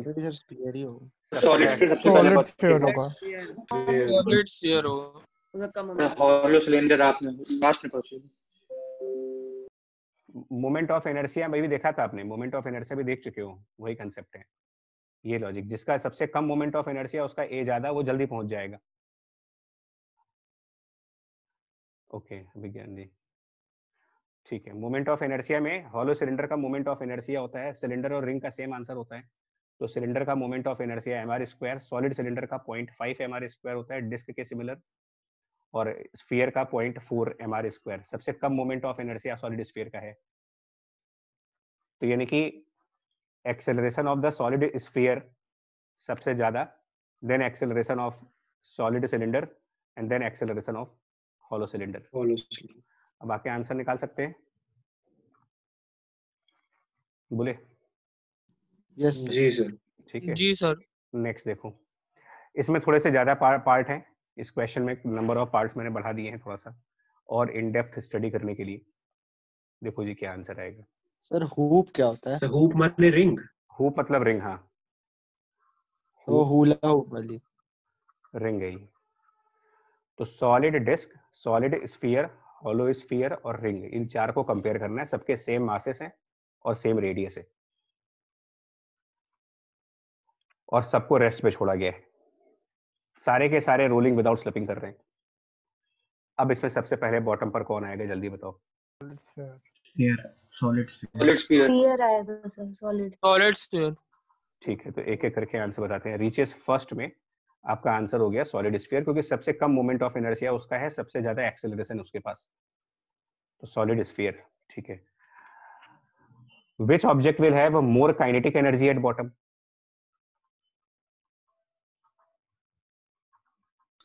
sir ring sir hoop जो है। रिंग का? यस सर क्वेश्चन को पढ़ करके आराम से आंसर दीजिए फंसोगे इन सब में। सर जिसका एक्सेलरेशन सबसे ज़्यादा होगा। यस सर तो सॉलिड मतलब सॉलिड स्फीयर सबसे ज़्यादा। ओके बना देते हैं एक मिनट डायग्राम रुको। एक बार बताइए क्वेश्चन कह रहा है कि ये एच हाइट का इंक्लाइन गिर रहे हैं तो तो सेम वेलोसिटी आएँगे नहीं बच्चा फंसोगे तुम लोग इसमें जल्दीबाजी करने पे आराम से टाइम लीजिए और करिए सोच समझ करके। हम लोग ये कह रहे हैं कि ऑब्जेक्ट देखो यहाँ पर कोई भी ऑब्जेक्ट हो। अभी हम लोगों ने क्या डिस्कस किया था कि ऑब्जेक्ट यहाँ कोई भी हो रेस्ट पे छोड़ा गया इसको। तो यहाँ पर इनके पास काइनेटिक एनर्जी ज़ीरो और पोटेंशियल को हम लोग रेफरेंस में ज़ीरो मानते हैं। फिर जब ये बॉटम पर आए बॉटम पर आए तो इनकी कुछ काइनेटिक एनर्जी है जिसके बारे में हमें नहीं मालूम कितना है, लेकिन इनकी कुछ पोटेंशियल एनर्जी होगी जो कि माइनस एम होगी। कंजर्वेशन ऑफ़ एनर्जी लगा के बताओ जरा क्या आंसर आएगा। लगाओ conservation of energy initial energy zero बराबर फाइनल काइनेटिक एनर्जी और प्लस पोटेंशियल एनर्जी यानी माइनस एम जी सेम तो काइनेटिक एनर्जी तो सेम आई ना यार? हाँ विज्ञान ठीक है सेवन सही है। काइनेटिक एनर्जी तो सबकी बराबर आएगी। लेकिन अगर उसको क्योंकि ये जो फाइनल काइनेटिक एनर्जी है इसमें दो कंपोनेंट्स हैं। दोनों को मिला दें अगर। मतलब एक हाँ। तो ट्रांसलेटरी और रोटेशनल दो पार्ट्स हैं इसमें। तो इनका टोटल वैल्यू दोनों के लिए सेम आएगा सबके लिए सेम आएगा। टोटल काइनेटिक एनर्जी बराबर आएगी। अब आगे क्या पूछा हम लोगों ने? Which object will have more angular अच्छा एक मिनट इसी क्वेश्चन में। काइनेटिक एनर्जी टोटल तो सबकी सेम आएगी। जरा एक मिनट और आगे बढ़ते हैं इसमें, और डिस्कशन करते हैं इसको जरा। अगर यहीं पर ये पूछते कि ट्रांसलेटरी काइनेटिक एनर्जी किसकी सबसे ज़्यादा होगी? और यहीं पर अगर आपसे कंपेयर करने को दे देते कि रोटेशनल काइनेटिक एनर्जी किसकी ज़्यादा होगी? अगर ये कंपैरिजन होता मेरा। जो क्वेश्चन लिखा हुआ है ऑलरेडी पहले से टाइप्ड है उसमें टोटल काइनेटिक एनर्जी को कंपेयर करने के लिए कहा गया है क्योंकि इन्होंने लिखा है मोर काइनेटिक एनर्जी ये तो लिखा नहीं है कि ट्रांसलेटरी या रोटेशनल तो इसका मतलब टोटल काइनेटिक एनर्जी कंपेयर करनी है और टोटल काइनेटिक एनर्जी एमजीएच के बराबर ही आएगी कंजर्वेशन ऑफ़ एनर्जी से। बराबर है। तो ट्रांसलेटरी वाली बराबर होगी सबकी ट्रांसलेशनल सॉलिड स्फीयर की सबसे ज़्यादा होगी। देखिए वो किस बेसिस पे कह रहे हो? ट्रांसलेटरी का मतलब हाफ़ एम स्क्वायर किसका ज़्यादा होगा? सबके जिसका मोमेंट ऑफ़ इनर्शिया कम होगा। देखिए मासेस सबके सेम है। और अभी हम लोगों ने कहा था कि जिसका मोमेंट ऑफ़ इनर्शिया सबसे लो होता है उसके सेंटर ऑफ़ मास की एक्सेलरेशन उतनी ज़्यादा एक्सेलरेशन ज़्यादा होगी होती है। अच्छा अब third equation of kinematics third equation of kinematics अगर ये इस इंक्लाइंड प्लेन के अलोंग कोई डिस्प्लेसमेंट करके नीचे आए हैं तो अगर ये इस इनक्लाइंड प्लेन के अलोंग ऐसे डिस्टेंस कवर करके आए हैं तो from the third equation of kinematics v square can be written as twice of a into s yes sir और एस बी एस बी सबका सेम है क्योंकि सबको सेम हाइट से छोड़ा गया है। तो जिसका एक्सेलरेशन ज़्यादा उसके पास वी भी ज़्यादा होगा फिर। यानी कि सॉलिड स्फीयर में ज़्यादा एक्सेलरेशन है तो सॉलिड स्फीयर के बाद में वेलोसिटी वी भी ज़्यादा आएगी इक्वेशन ऑफ़ काइनेमेटिक्स के through that means maximum for the solid sphere और इसी तरीके से आप कंपेयर कर सकते हो। जितना छोटा मोमेंट ऑफ़ इनर्शिया उतनी ज़्यादा ट्रांसलेटरी काइनेटिक एनर्जी और रोटेशनल फिर किसकी ज़्यादा होगी? जिसका मोमेंटम सबसे बड़ा। मिनिमम वाला। सॉलिड स्फीयर यहाँ मिनिमम हो जाएगा क्योंकि टोटल एनर्जी सबकी सेम है। तो ऑब्वियसली जिसके पास जिसके पास ट्रांसलेटरी एनर्जी ज़्यादा होगी उसके पास रोटेशनल एनर्जी कम हो जाएगी। अक्षर सही आंसर ये लॉजिकल पोर्शन से इस तरीके से क्वेश्चन करना होता है। ओके। okay. अब इन्होंने कंपेयर करने को कहा है which object will have more omega at the bottom बताओ किसकी एंगुलर स्पीड ज़्यादा होगी बॉटम पर जाकर के? ओमेगा मैक्सिमम में। जी। तो क्वेश्चन में लीनियर वेलोसिटी लिखा है। नहीं नहीं तीनों लिखा है। Which object will have more angular velocity at तो सेकंड पार्ट तो ओमेगा मैक्सिमम किसके लिए होगा? फॉर फॉर विच ऑब्जेक्ट और एक वी भी पूछा है कि मैक्सिमम वी किसके लिए होगा? तो अभी वी तो हम लोगों ने ऊपर कंपेयर कर लिया अभी सॉलिड स्फीयर का। अभी वी तो स्फीयर का भी अभी ज्ञान ध्यान से करो भाई जरा। सो दोनों सॉलिड स्फीयर का ही ज़्यादा होगा। हाँ यार क्योंकि v और ओमेगा में एक रिलेशन भी तो है। V equal to R omega तो जिसका v ज़्यादा उसका ओमेगा भी ज़्यादा। ओमेगा ज़्यादा। हाँ। ओमेगा इज़ मैक्सिमम देखो यहाँ से जो इक्वेशन ऑफ़ काइनेमेटिक्स है वो क्या कह रहा है कि जिसकी एक्सेलरेशन ज़्यादा उसके पास ज़्यादा स्पीड तो इस हिसाब से तो स्फीयर आंसर हो गया वेलोसिटी के केस में। क्योंकि सबसे छोटा मोमेंट ऑफ़ इनर्शिया उसी का है। और v equal to R omega ये भी एक रिलेशन चला रहे हो आप। सेम है सबका तो वी पे ही डिपेंड करेगा डायरेक्ट बिल्कुल क्योंकि सबके सेम रेडियस लिए हमने। तो जिसका v ज़्यादा उसका ओमेगा भी ज़्यादा जिसका v कम उसका ओमेगा भी कम। तो स्फीयर के लिए ये भी आंसर आएगा। ये थोड़ा अजीब लगता है कि स्फीयर की एंगुलर स्पीड सबसे ज़्यादा होने के बावजूद भी उसकी रोटेशनल काइनेटिक एनर्जी सबसे कम है। वो मोमेंट ऑफ़ इनर्शिया बैलेंस कर देते हैं। हाँ क्योंकि half half I omega square है तो ओमेगा वाला फैक्टर तो स्फीयर में सबसे ज़्यादा है। लेकिन साथ में जो मोमेंट ऑफ़ इनर्शिया उसके काइनेटिक एनर्जी के फॉर्मूले में होता है वो स्फीयर का सबसे छोटा है। तो इवन ज़्यादा एंगुलर स्पीड के बावजूद भी उसकी रोटेशनल काइनेटिक एनर्जी कम हो रही है। और हाँ जी। सर जो आपने वो मिनिमम सॉलिड स्फीयर लिखा है वो काइनेटिक एनर्जी रोटेशनल वाली जो है वो लिखा है ना उसकी मिनिमम होगी। हाँ हाँ उसी के लिए जैसे। मैक्सिमम तो रिंग की होगी ना। हाँ मतलब एक तरीके से हमने एक हिंट कर दी है कि मोमेंट ऑफ़ इनर्शिया को देख करके आप मिनिमम मतलब एक असेंडिंग और डिसेंडिंग ऑर्डर्स में पूरा लगा सकते हो इनको।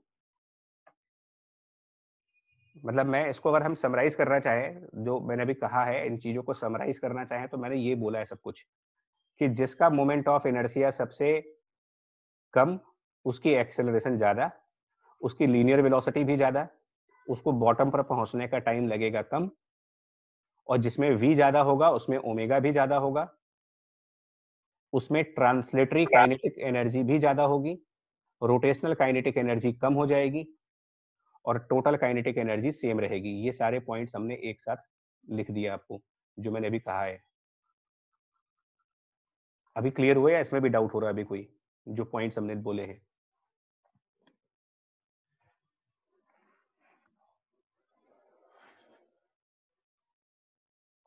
लिंक बन रहा नहीं बन रहा अभी कुछ? यस सर ठीक है ना? टोटल काइनेटिक एनर्जी सेम बोलने का रीजन क्या है? Because it is equal to MGH और सबको सेम हाइट से छोड़ा जा रहा है। Conservation of energy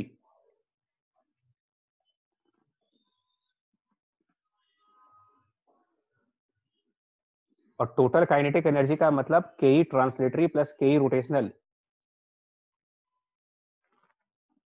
K E rotational और ट्रांसलेटरी एनर्जी आप देखोगे हाफ़ एम वी स्क्वायर से। तो बट नेचुरल सी बात है कि जिस ऑब्जेक्ट में वी ज़्यादा है सेम मास के बाद, सबके अगर मासेस सेम है तो जिसमें वी ज़्यादा है नेचुरली उसकी ट्रांसलेटरी काइनेटिक एनर्जी ज़्यादा है। और क्योंकि kinetic energy of translation plus kinetic energy of rotation को एक कांस्टेंट वैल्यू होना है तो जिसमें ट्रांसलेटरी काइनेटिक एनर्जी ज़्यादा होगी ऑब्वियसली उसकी रोटेशनल काइनेटिक एनर्जी कम होनी चाहिए because sum of the two values total of these two kinetic energies वो सबके बराबर बराबर आनी चाहिए।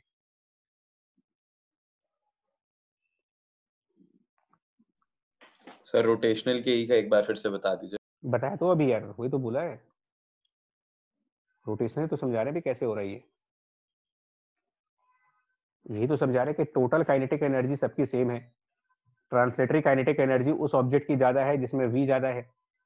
तो जिसमें ट्रांसलेटरी ज़्यादा होगी ऑटोमेटिकली रोटेशनल को कम होना पड़ेगा क्योंकि टोटल वैल्यू अगर सेम चाहिए आपको। यस सर क्लियर है सर थैंक यू ये सर तो समझा रहे थे। और फ्रिक्शन किसमें ज़्यादा लग रहा होगा? की एक्सेलरेशन कम होगी तो जिसकी एक्सेलरेशन कम है बिकॉज़ फ्रिक्शन की वजह से ही एक्सेलरेशन. रिड्यूस हो रही है तो जो सबसे होगा हुप हाँ। रिंग पे। इसका मतलब जिस ऑब्जेक्ट का सबसे कम मोमेंट ऑफ़ इनर्शिया उसकी सबसे ज़्यादा एक्सेलरेशन यानी उसमें फ्रिक्शन उतना ही कम लग रहा होगा। क्योंकि बॉडी ज़्यादा एक्सेलरेट कर रही है मतलब फ्रिक्शन कम लग रहा है। क्योंकि फ्रिक्शन ज़्यादा लगेगा तो एक्सेलरेशन कम होती जाएगी। लेकिन ये फ्रिक्शन वाली बात तब एप्लीकेबल होगी ना, जब मैक्सिमम फ्रिक्शन सारे ऑब्जेक्ट्स के लिए सेम होगा। प्योर रोलिंग कर रहे हैं भाई प्योर सर रोलिंग वही मतलब तभी सेम होगा ऐसे हाँ हाँ तो मोर फ्रिक्शन का आंसर क्या दोगे? सबसे ज़्यादा फ्रिक्शन किस ऑब्जेक्ट पर है? जिसका सबसे ज़्यादा मोमेंट ऑफ़ इनर्सिया और वो इन, इन जितने भी ऑब्जेक्ट दिए गए हैं इसमें सबसे ज़्यादा मोमेंट ऑफ़ इनर्सिया वाला ऑब्जेक्ट है रिग एक बार फिर से करना अपने आप करना इंक्लाइंड प्लेन को इन सारे फॉर्मूलों को एनालाइज करना ऑब्जर्वेशंस करना कि कौन सा रिज़ल्ट मोमेंट ऑफ़ इनर्सिया पे डिपेंड कर रहा है। और यही रीजन था मेरे दो क्वेश्चन को लेने का, यहाँ पर। मैंने जानबूझ करके एक बार स्फीयर का क्वेश्चन लिया था और जानबूझ करके अगली बार मैंने सारे सेम पार्ट्स जितने भी पार्ट आपने किए थे, उन सारे पार्ट्स को रिपीट किया यहाँ पर ऑब्जेक्ट को चेंज करके। जब दोनों के आंसर्स को साइड बाय साइड रखोगे कंपेयर करोगे तो समझ में आ जाएगा कि मोमेंट ऑफ़ एनर्जिया की वजह से आंसर्स में क्या क्या चेंजेस आ रहे और तब आपका ये रिज़ल्ट समझ में आ जाएगा कि मोमेंट ऑफ़ एनर्जिया के ज़्यादा या कम होने का फ़र्क कहाँ कहाँ पे पड़ता है। नेक्स्ट है। मूव करेंगे नेक्स्ट पॉइंट पर। हमने कहा था इनसफिशियंटली रफ है। जैसे स्फीयर का ही एग्जांपल ले रहे हैं। और अब ये सिर्फ़ वन बाई सेवन इसमें जी गलत आ गया है। जी नहीं होगा। One by seven tan theta है म्यू की वैल्यू अभी हम लोगों ने थोड़ी देर पहले एक एग्जांपल किया था जिसमें ये कहा था कि स्फीयर के लिए जो मिनिमम कोफिशियंट ऑफ़ फ्रिक्शन चाहिए होता है। अभी पीछे जो क्वेश्चन सॉल्व किया था। तो आंसर हम टू बाई सेवन उससे छोटा ले लिया हमने। मतलब जितना coefficient of friction minimum required होता है रोलिंग विदाउट स्लिपिंग के लिए उससे कम है कोफिशिएंट ऑफ़ फ्रिक्शन की वैल्यू तो एक चीज़ बड़ी ऑब्वियस है कि ये प्योर रोलिंग नहीं कर पाएगा क्योंकि म्यू इनसफिशिएंट होने की वजह से ये ऑब्जेक्ट रोलिंग विदाउट स्लिपिंग नहीं करेगा। क्या करेगा ये ऑब्जेक्ट फिर? रोल तो करेगा फ्रिक्शन की वजह से। हाँ। मतलब करें रोल करेगा लेकिन विद स्किडिंग मतलब ट्रांसलेट ज़्यादा करेगा रोटेट कम करेगा। तो इस क्वेश्चन को डील कैसे करेंगे देखो सारे अभी भी वही पार्ट्स है मेरे। पार्ट्स वही हैं अभी भी।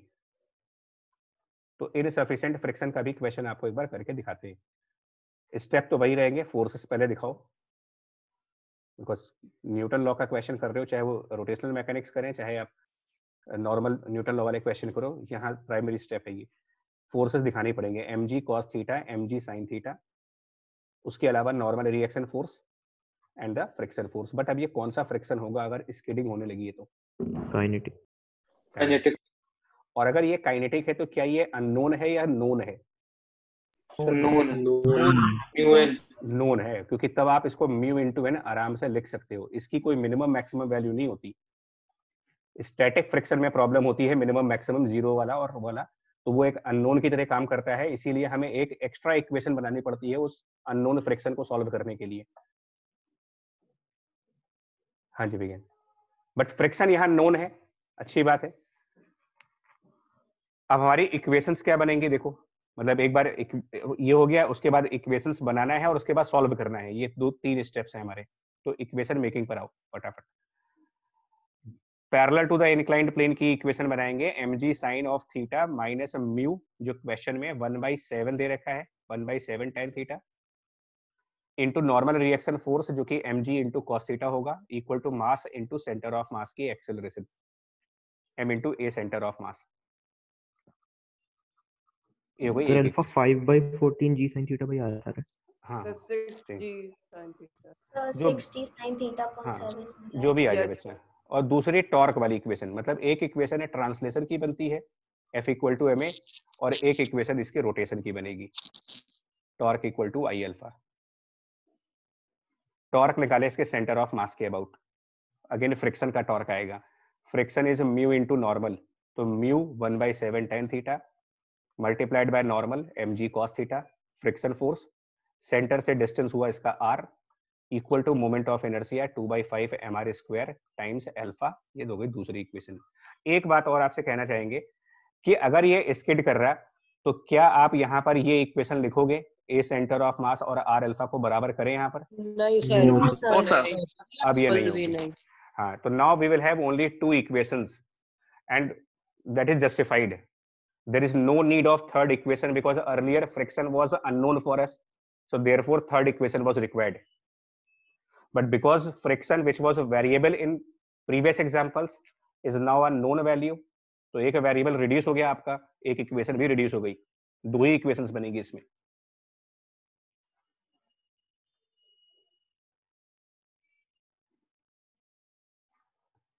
ध्यान रखना अगर सेंटर ऑफ़ मास की एक्सेलरेशन आर अल्फ़ा के बराबर हो गई तो मतलब फ्रिक्शन अननोन है। और अगर फ्रिक्शन नोन हो गया काइनेटिक हो गया, फिर ए सेंटर ऑफ़ मास बराबर आर अल्फ़ा नहीं लिख सकते आप। दो में से एक ही काम कर सकते हो। अब इनको सॉल्व कर लीजिए। ए और अल्फ़ा की वैल्यू डायरेक्टली आ जाएगी। फ़र्स्ट इक्वेशन से ए आ जाएगा सेकंड इक्वेशन से अल्फ़ा आ जाएगा। और इनफैक्ट जो आंसर्स आ रहे हैं वो ये आएँगे शायद ए सेंटर ऑफ़ मास की वैल्यू अगर हम फ़र्स्ट इक्वेशन सॉल्व करेंगे तो ये six by seven G sine theta अगर गलत नहीं हूँ मैं तो सिक्स बाई सेवन हाँ जी ठीक है जी। और ये जो अल्फ़ा आएगा इससे. Five G sine theta divided by fourteen R ये अल्फ़ा की वैल्यू आई ये दो आंसर्स आए हमारे। अब इसके आगे का पार्ट पहला क्वेश्चन डन ए पार्ट हो गया। B part magnitude and direction of friction force ये भी डन क्योंकि काइनेटिक फ्रिक्शन है तो इसमें कोई प्रॉब्लम ही नहीं है। B part done kinetic friction है वो। तीसरे पार्ट में अब क्या करेंगे यार? यहाँ पर वेलोसिटी कैसे निकाले और ओमेगा कैसे निकाले? क्योंकि पिछले क्वेश्चन में तो एनर्जी कंजर्व करके निकाल दिया था। इसके जस्ट पहले वाले एग्जांपल्स में कंजर्वेशन ऑफ़ एनर्जी फॉलो कर लिया था हम लोगों ने। अब यहाँ पर स्केटिंग हो रही है तो एक चीज़ बड़ी ऑब्वियस energy theorem लगेगा। हाँ एक एक चीज़ बड़ी ऑब्वियस है कि जो कंजर्वेशन ऑफ़ एनर्जी है वो भी अब काम नहीं करेगी यहाँ पर। कंजर्वेशन ऑफ़ एनर्जी जो है, वो आप उसके ऊपर क्रॉस लग गया, नहीं लगा सकते। दूसरा ऑप्शन इन्होंने कहा कि वर्क एनर्जी थ्योरम लगाएँगे, जिसमें वर्क डन बाय निकालेंगे। सुनो, अब प्रॉब्लम समझिएगा मैं आपको क्या बताता हूँ। एनर्जी कंजर्वेशन काम करने गलत हो गया। उसके बाद एक ऑप्शन ये आता है कि work done by all forces should be equal to change of kinetic energy which is work energy theorem ये एप्लीकेबल है। तो ऑल फोर्सेस में वर्क नॉर्मल रिएक्शन फोर्स का सर हाँ जी। सर वी आपका root under twelve by seven G H एक second बचा एक सेकंड बता रहा हूँ कंफर्म कर रहे हैं अभी आपके आंसर को। Work done by friction force और इक्वल टू हम चेंज ऑफ़ काइनेटिक एनर्जी कर देंगे। चेंज ऑफ़ काइनेटिक एनर्जी में फाइनली इसकी ट्रांसलेटरी एनर्जी और फाइनली इसकी रोटेशनल एनर्जी और इनिशियल एनर्जी ज़ीरो है तो जो इसकी फाइनल एनर्जी है वही इसके लिए चेंज ऑफ़ काइनेटिक एनर्जी भी होगा। अब इसमें प्रॉब्लम समझो क्या है। नॉर्मल रिएक्शन फोर्स का वर्क ज़ीरो बिकॉज़ ये परपेंडिकुलर टू द मोशन है। बॉडी के मूव करने के परपेंडिकुलर लग रहा है। ग्रेविटी का वर्क एमजीएच के हिसाब से होता है। बॉडी डाउनवर्ड मोशन कर रही है तो प्लस एमजीएच कैसे निकालोगे फ्रिक्शन का वर्क क्योंकि वर्क को कैलकुलेट करने के लिए आप फ्रिक्शन को जब मल्टीप्लाई करेंगे डिस्प्लेसमेंट से तो तो डिस्प्लेसमेंट गलत होगा। हाँ डिस्प्लेसमेंट उस पॉइंट सर यहाँ पे work done point of application पे होता है जैसे जैसे आगे बढ़ रहा है एप्लीकेशन का पॉइंट चेंज हो रहा एप्लीकेशन तो बदलता ही जा रहा है। वो बदल भी रहा है और उसका डिस्प्लेसमेंट तो बॉटम पॉइंट का चाहिए। यस सर यस सर हाँ यही मैं चैलेंज बता रहा हूँ। इसमें प्रॉब्लम ये भी एक है। अगर हम डिस्प्लेसमेंट निकालेंगे तो हम सेंटर का तो निकाल सकते हैं कि सेंटर कितना डिस्प्लेस हुआ क्योंकि ये जो हाइट दी गई है वो सेंटर टू सेंटर दी गई है। ये जो हाइट तुम्हें दी गई है सेंटर टू सेंटर है तो आप सेंटर पॉइंट के डिस्प्लेसमेंट को तो निकाल सकते हो। अभी क्या एक मिनट बच्चा। लेकिन फ्रिक्शन का वर्क कैसे निकालोगे? क्योंकि उसके लिए चाहिए क्या? स्फीयर के बॉटम मोस्ट पॉइंट ने कितना डिस्प्लेसमेंट किया है? और रोलिंग रोलिंग मोशन में हर पॉइंट के अलग अलग डिस्प्लेसमेंट होते हैं। क्योंकि अगर सारे पॉइंट सेम ही डिस्प्लेसमेंट कर रहे होते, फिर तो ये ट्रांसलेटरी मोशन की डेफिनेशन होती। तो ये एक चैलेंज है कि वर्क एनर्जी थ्योरम भी नहीं लगा पाओगे आप इसमें। ना हम कंजर्वेशन ऑफ़ एनर्जी लगा सकते हैं ना work energy theorem because bottom point का डिस्प्लेसमेंट आपके लिए अननोन है। ये अपने आप में एक बहुत बड़ा चैलेंज है। निकालो कैसे इसको?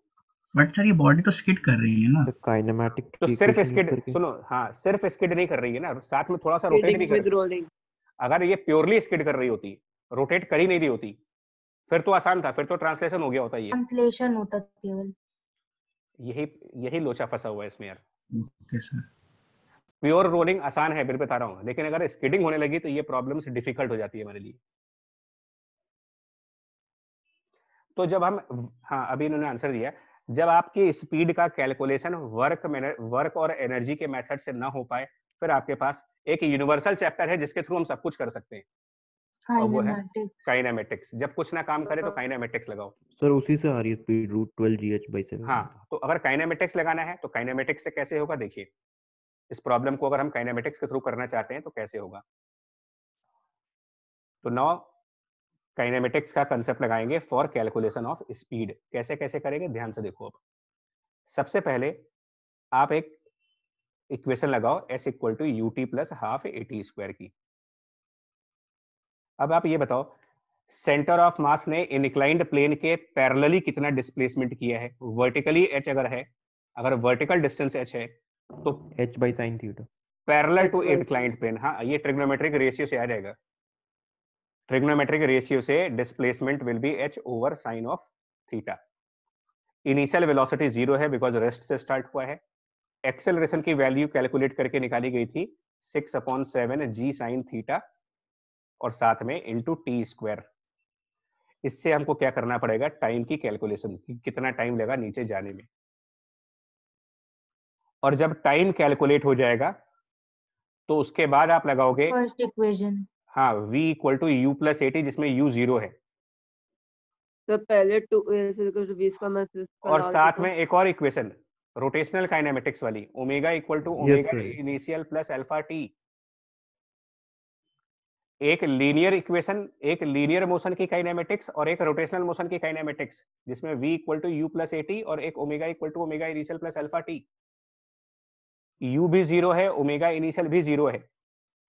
A और अल्फ़ा दोनों ही कैलकुलेट कर चुके हैं पहले। ए भी कैलकुलेट कर लिया गया है अल्फ़ा भी कैलकुलेट कर लिया गया है। तो एक बार पहले v कैलकुलेट किया जाएगा। एक्सेलरेशन की वैल्यू पुट करेंगे six upon G sine theta और साथ में टाइम की वैल्यू जो कि इस डिस्प्लेसमेंट वाली इक्वेशन से सॉल्व होगी इसको भी देख ही लेते हैं कितना आएगा टाइम की वैल्यू जो होगी।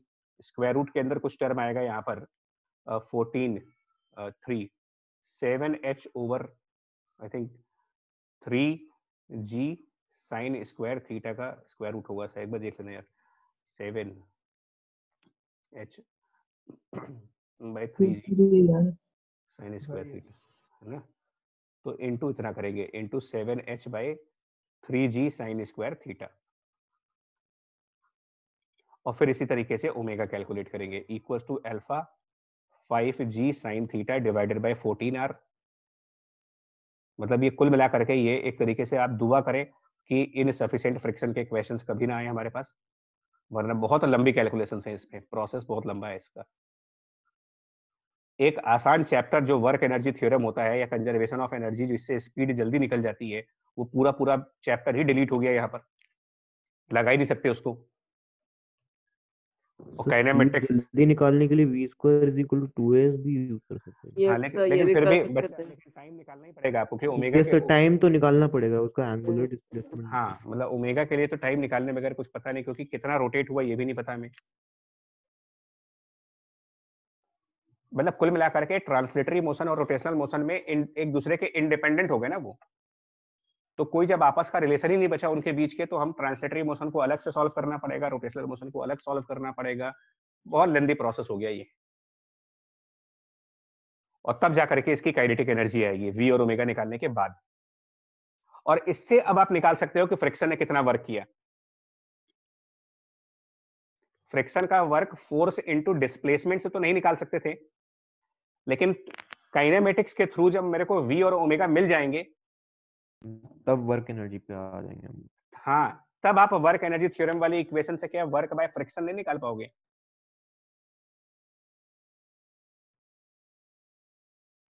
बोले अगर आपको फाइनल काइनेटिक एनर्जी की वैल्यू मिल जाए काइनेमेटिक्स के मेथड से तो क्या ये जो वर्क एनर्जी थ्योरम की इक्वेशन लिखी गई है उसमें से डब्ल्यू एफ़ को नहीं निकाल पाएँगे हम लोग? अगर हमको राइट साइड पर वी भी मिल गया राइट साइड का ओमेगा भी मिल गया ग्रेविटी का वर्क एम जी है तो क्या ये डब्ल्यू एफ़ कैलकुलेट नहीं हो सकता बाद में? वी और ओमेगा निकालने वी एंड ओमेगा निकालने के बाद पहले नहीं। You can not find the work by friction force by the method of force into displacement but using work energy theorem we can find the work of friction force तो जहाँ पर भी skidding होगी और जहाँ पर भी स्लिपिंग होगी, ध्यान रखना सुन लो स्टेटमेंट देखिए रोलिंग विदाउट स्लिपिंग में फ्रिक्शन का वर्क होता ही नहीं है। और स्किडिंग और स्लिपिंग में फ्रिक्शन का वर्क होगा बट उसको आप फोर्स इनटू डिस्प्लेसमेंट से नहीं करोगे कैलकुलेट कैलकुलेट करोगे use of work energy theorem और ऐसे क्वेश्चंस में वी और ओमेगा निकालने के लिए हम काइनेमेटिक्स का यूज़ करेंगे।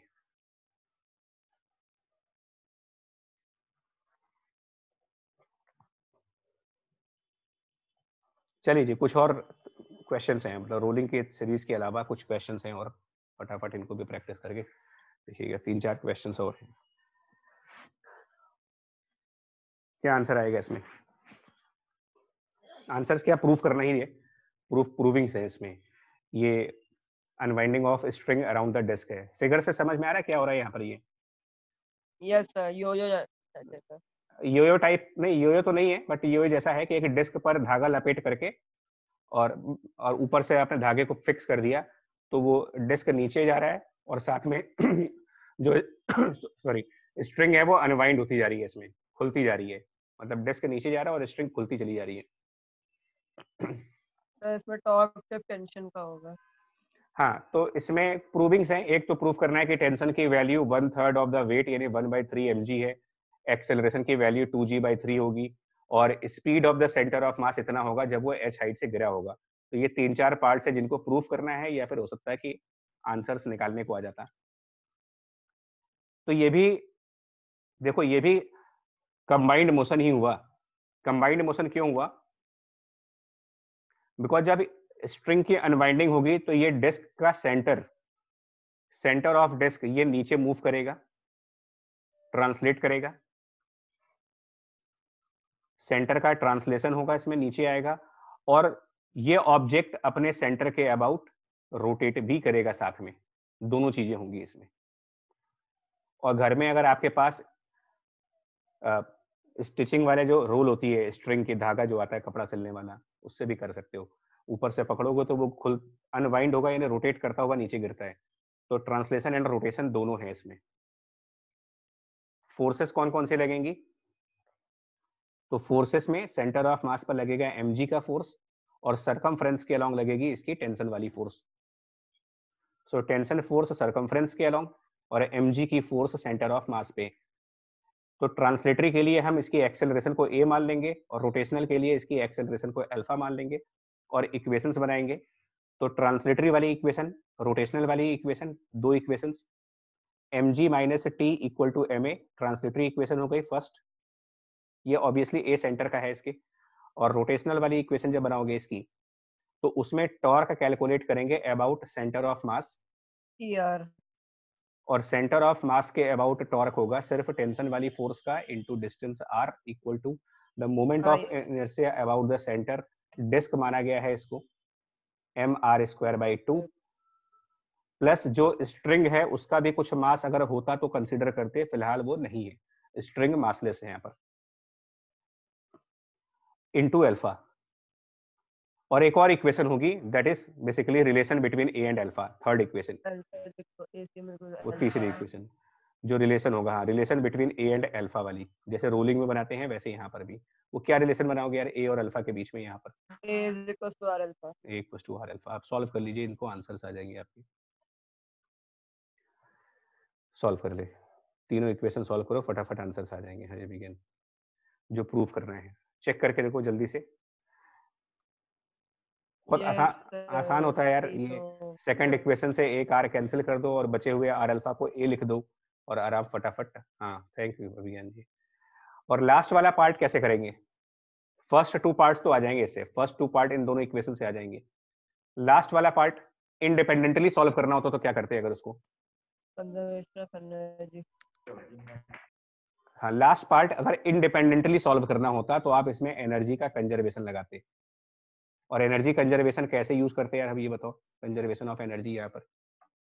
अगर बॉडी एच डिस्टेंस नीचे गिरेगी तो इसका मतलब उसकी पोटेंशियल एनर्जी का लॉस होगा एम का और वो कन्वर्ट कर देंगे इसके काइनेटिक एनर्जी ऑफ़ ट्रांसलेशन में यानी half M i half. I और ओमेगा स्क्वायर और ओमेगा को हम यहाँ पर रिप्लेस कर देंगे वी बाय आर से। तो तीसरा पार्ट आप इंडिपेंडेंट वर्किंग के हिसाब से करिएगा। क्योंकि क्लासरूम के अंदर हम लोग क्वेश्चंस को तीन चार पार्ट्स में कराते हैं एग्ज़ाम में चार सारे पार्ट एक साथ नहीं पूछे जाएँगे। इनमें से कोई एक चीज़ पूछी जाएगी। तो स्पीड निकालने के लिए ये बेवकूफ़ी होगी कि हम पहले न्यूटन लॉ लगाएँ फिर काइनेमेटिक्स लगाएँ। जब तक एनर्जी मेथड से स्पीड निकाल सकते हो प्रायोरिटी उसको दो। अगर आपकी मजबूरी बन गई है कि एनर्जी कंजर्व हो ही नहीं सकती तो वर्क एनर्जी थ्योरम लगाओ। अगर वो भी नहीं लगा पा रहे हो फिर आपके पास ऑप्शंस नहीं बचे कोई अब। सिर्फ़ काइनेमेटिक्स जाना पड़ेगा फिर जैसे भी पीछे वाले क्वेश्चन में किया है। क्लियर है ये क्वेश्चन बताए।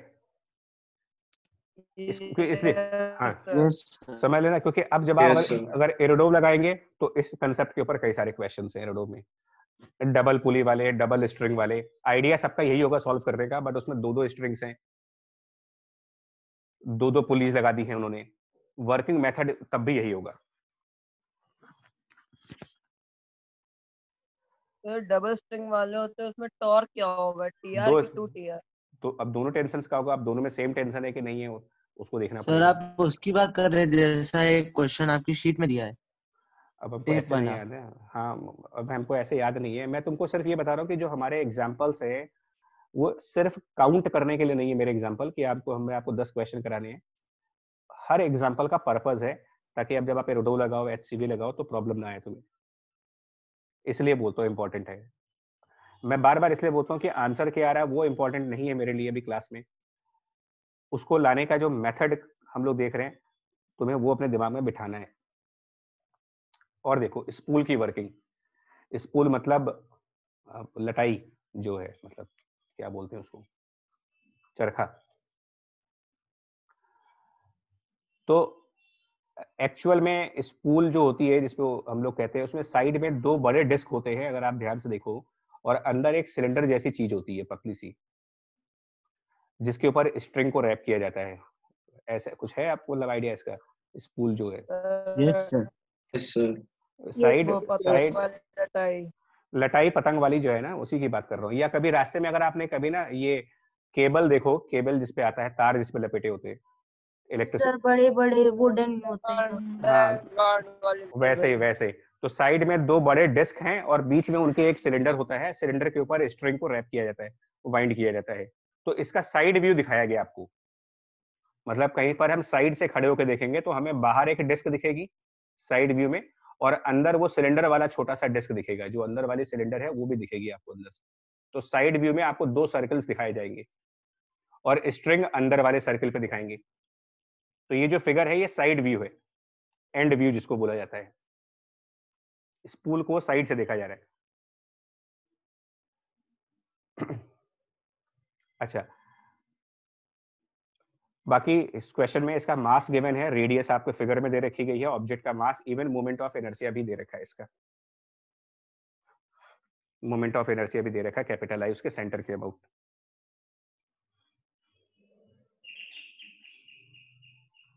ट्राई करना चाहोगे इसको? इक्वेशंस एटलीस्ट बना लो। कुछ नहीं तो एटलीस्ट इक्वेशंस तो बना ही लो आप। सो so दैट कि ये समझ में आए कि आपको वर्किंग क्लियर हो रही है कि नहीं हो रही है। बनाए इक्वेशंस मैं तो सिर्फ़ ये कॉन्फिडेंस के लिए बोल रहा हूँ कि आपको ये समझ में आए कि रोलिंग जो इसको बहुत डिफ़िकल्ट माना जाता है वो बेसिकली तीन स्टेप्स का पार्ट है। Translatory motion equation rotational motion equation और तीसरा जो ए और अल्फ़ा को रिलेट करते हो। ये चीज़ जिसको समझ में आएगी उसके लिए रोलिंग का चैप्टर आसान है। टेंशन के अलावा और कौन सी फोर्स दिखाएँ इसमें? फ्रिक्शन फ्रिक्शन फोर्स किधर? फ्रिक्शन किधर? पता नहीं। को। पता नहीं। तो जो हम मानना है मान ले। चलो लेफ़्ट मान लेते हैं सर लेफ़्ट अज्यूम कर लेते हैं। चलिए लेफ़्ट मान लेते हैं फ्रिक्शन को। लेफ़्ट माना है मैंने अज्यूम एजम्पशन है मेरा। सर जो इंट्यूशन है उसको अज्यूम कर लेते हैं। जो दो ही आएँगे लेफ़्ट और राइट इसके अलावा एमजी और नॉर्मल है जो हम डायग्राम में नहीं दिखाने वाले क्योंकि वो बैलेंस हो जाएँगे। एमजी और नॉर्मल अब हमने ये माना कि ये बॉडी ट्रांसलेट करेगी फॉरवर्ड ये ये मान रहा हूँ और ये रोटेट करेगी क्लॉकवाइज ये मान के चल रहे हैं कि ये फॉरवर्ड ट्रांसलेट करेगी और क्लॉकवाइज रोटेट करेगी अल्फ़ा से। तो ट्रांसलेशन की equation. Capital T tension force और उसके opposite friction force equal to mass of the spool multiplied by acceleration. ये किसका एक्सेलरेशन आ रहा है इसमें से? Centre of mass centre of mass का। उसके बाद आते हैं रोटेशन पे।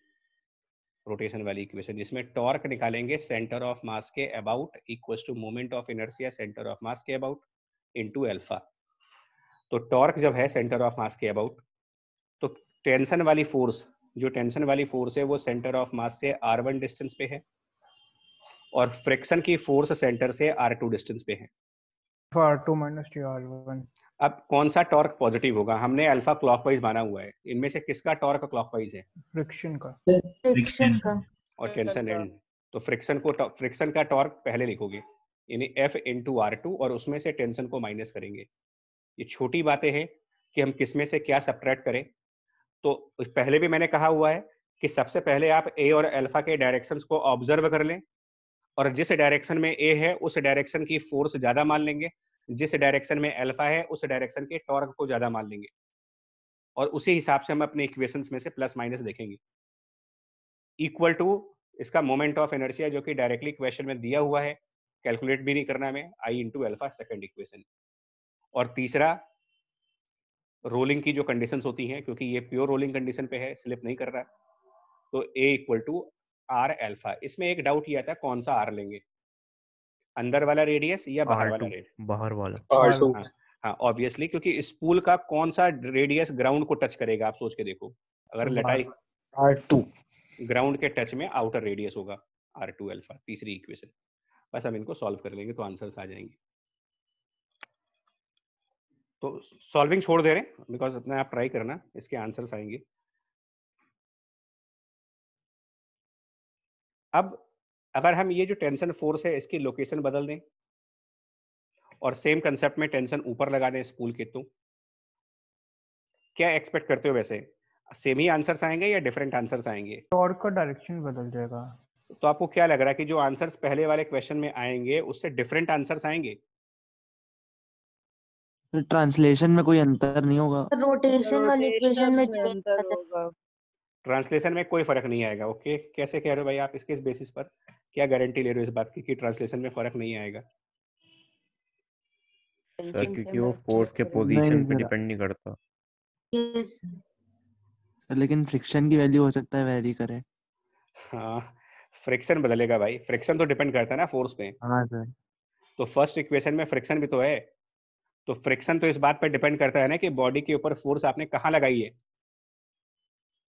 कल से और आज तक यही बात तो समझा रहा हूँ कि फ्रिक्शन इस कंडीशन जो ये फिगर आपके सामने है, यहाँ पर फ्रिक्शन की वैल्यू कुछ और आएगी और अगले क्वेश्चन में फ्रिक्शन की कुछ और वैल्यू आ जाएगी। यानी कि सेंटर ऑफ़ मास की एक्सेलरेशन दोनों में डिफरेंट आएगी। स्पूल इसीलिए खतरनाक ऑब्जेक्ट मान लिया गया है। इक्वेशंस वैसे ही बनेंगी। देखो इक्वेशंस आपकी यही बनेंगी। T minus F equal to M A first इस बार अगर आप सेंटर के अबाउट टॉर्क देखोगे तो टेंशन और फ्रिक्शन दोनों के ही क्लॉकवाइज टॉर्क है। क्लॉकवाइज है। यस सर तो T into R one plus friction into R two equal to I alpha और तीसरा A centre equal to R alpha बस ये तीन इक्वेशन है पूरे रोलिंग मोशन के अंदर। मेरा ये कहना है मैं इसलिए छोड़ दे रहा हूँ कि आप जज करना, तीनों दोनों पार्ट सॉल्व करना और ये जज करके देखना फ्रिक्शन क्या दोनों में पॉजिटिव आ रहा है? एक्चुअली क्या होता है स्पूल के केस में एक स्पेसिफिक लोकेशन होती है, एक स्पेसिफिक पॉइंट होता है जहाँ पर अगर आप फोर्स लगाएँगे तो वो रोटेट भी नहीं करेगा ट्रांसलेट भी नहीं करेगा। स्पूल के केसेस में। अगर मैं इसको ड्रॉ करके दिखाऊँ ना तो जो ये स्पूल वाले ऑब्जेक्ट होते हैं, इनका एक स्पेसिफिक ओरिएंटेशन ऐसा है जहाँ पर फोर्स लगाओ तो ना तो ये रोटेट करेगा, ना तो ये ट्रांसलेट करेगा।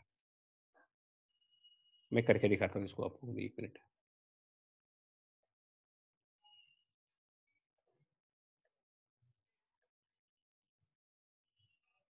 देखिए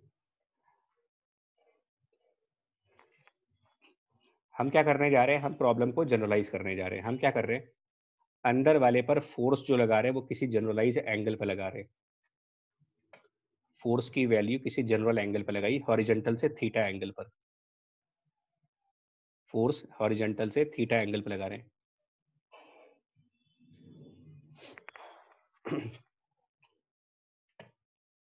बाकी सिचुएशन वही है। Spool of mass M moment of inertia, इसका capital I, centre of mass के अबाउट। और अब बताओ, इसकी इसकी इक्वेशंस क्या बनाओगे? देखो। तो और इनर रेडियस और आउटर रेडियस बताते हैं इसकी। जो इनर रेडियस है, वो स्मॉल आर है और आउटर रेडियस इसकी कैपिटल आर लेते हैं। क्या इक्वेशंस बनाएँगे इसमें? तो एज्यूम कर लेते हैं फ्रिक्शन लेफ़्ट लगेगा। एजम्पन लेके चलते हैं। हो सकता है फ्रिक्शन राइट भी लग जाए हो सकता है फ्रिक्शन लगे ही ना।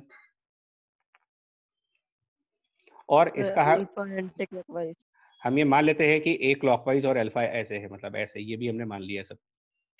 अब इक्वेशंस देखो।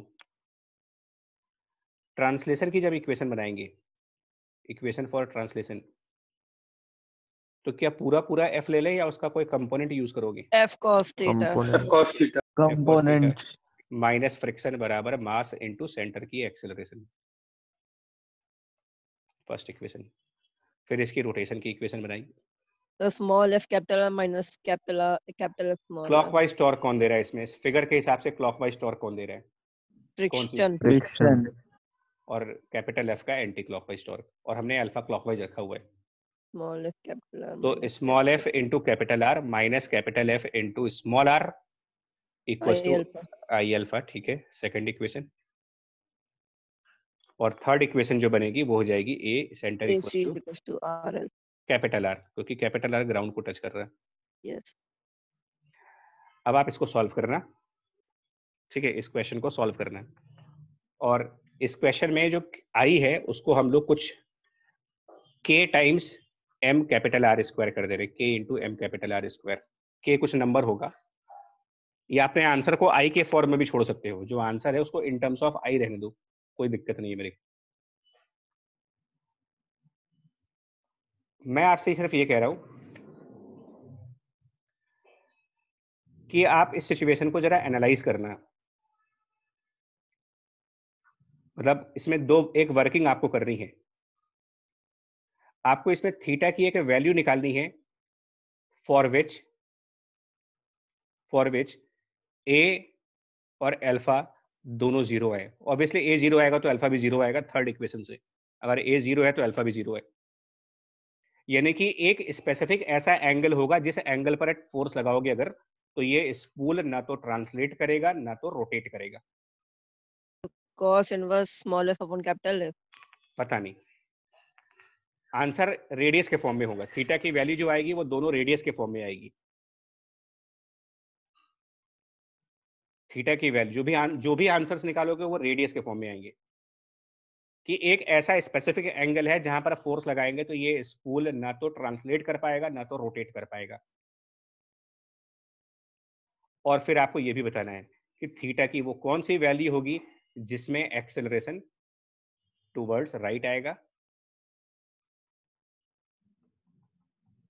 और फिर थीटा की ऐसी कौन सी वैल्यू होगी जिसमें एक्सेलरेशन टूवर्ड्स लेफ़्ट आएगा। मतलब कहने का मतलब ये है कि इस स्पूल का मोशन किसी भी डायरेक्शन में हो सकता है।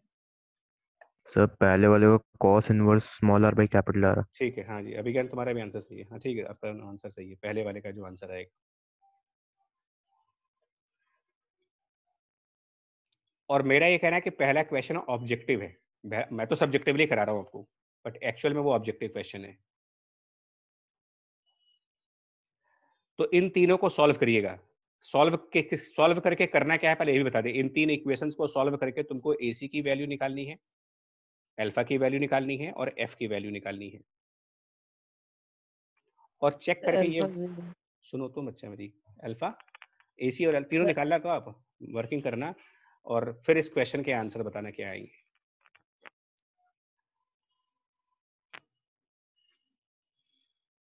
और मैं इसलिए कह रहा हूँ कि जो आप एसी कैलकुलेट करोगे, मुझे सिर्फ़ इतना बताना क्या वो हमेशा पॉजिटिव ही आएगा?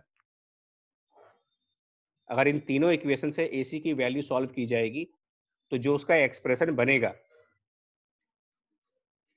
देख के बताना मुझे, क्या वो हमेशा पॉजिटिव आएगा? और इनफैक्ट कोई बहुत बड़ा टास्क नहीं है एसी निकालना। हम सेकंड इक्वेशन को मॉडिफाई कर दे रहे हैं, यहाँ से कैपिटल आर डिवाइड कर दो जरा। एक लाइन का काम है वो। और अल्फ़ा को भी रिप्लेस कर दो। अल्फ़ा को लिख दो A C upon A C upon capital R तो कुल मिलाकर के ये A C divided by R square बन गया। और जैसे ही तुम इक्वेशन वन और इक्वेशन टू को ऐड करोगे इक्वेशन वन इक्वेशन टू को ऐड कर दो। तो ये देखने में लगेगा कि बहुत कुछ भारी भरकम चीज़ करवाई जा रही है, ऐसा कुछ है नहीं। जैसे इन दोनों इक्वेशंस को ऐड करोगे, मेरे को साफ़ एसी का आंसर दिख रहा है यहाँ पर। Capital F cos theta minus capital F small R divided by capital R and whole divided by capital M plus I upon capital R square मेरे ख्याल से यही आंसर बनेगा।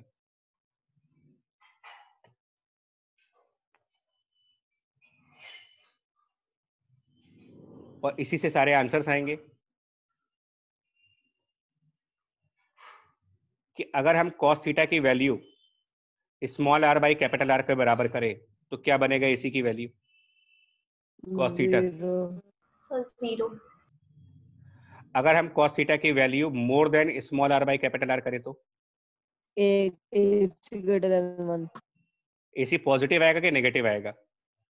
नेगेटिव ध्यान सर सर सर पॉजिटिव आएगा sir positive right जाएगा। और ये जो ए था इसको भी आपने एज्यूम किया था। तो जो अगर आपका एजम्पशन पॉजिटिव आता है तो उसका क्या मतलब है? डायरेक्शन सही अज्यूम करिए डायरेक्शन सही हो जाएगी इसका मतलब। एसी फॉरवर्ड आएगा। और अगर cos थीटा की वैल्यू अरे सर कुछ भी आ सकता है एसी तो।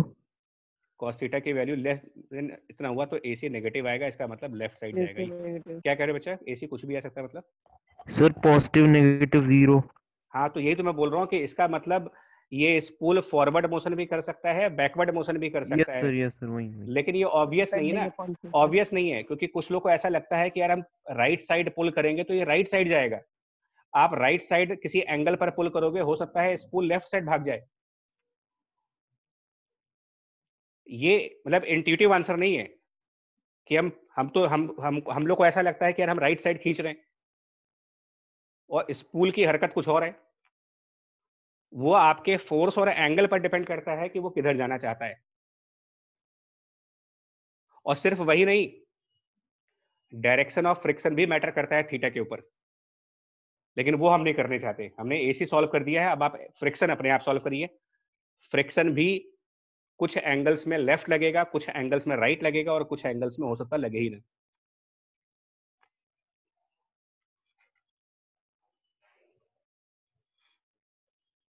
एसी के थ्रू आपको समझा दिया है मैंने कि स्पूल का मोशन किसी भी साइड हो सकता है। सिर्फ़ फोर्स को देख करके कोई नहीं बता सकता कि ये राइट साइड जाएगा। मतलब रोटेशनल मैकेनिक्स में कई ऐसे क्वेश्चंस हैं जो इंट्यूशंस के बेसिस पर नहीं किए जा सकते। अंदाज़ा लगा कर नहीं कर सकते आप। क्योंकि आप सोचते कुछ हो और उसका आंसर कुछ और आने वाला है। तो सजेशन मेरा यही होगा कि ये तीन इक्वेशंस बनाएँ।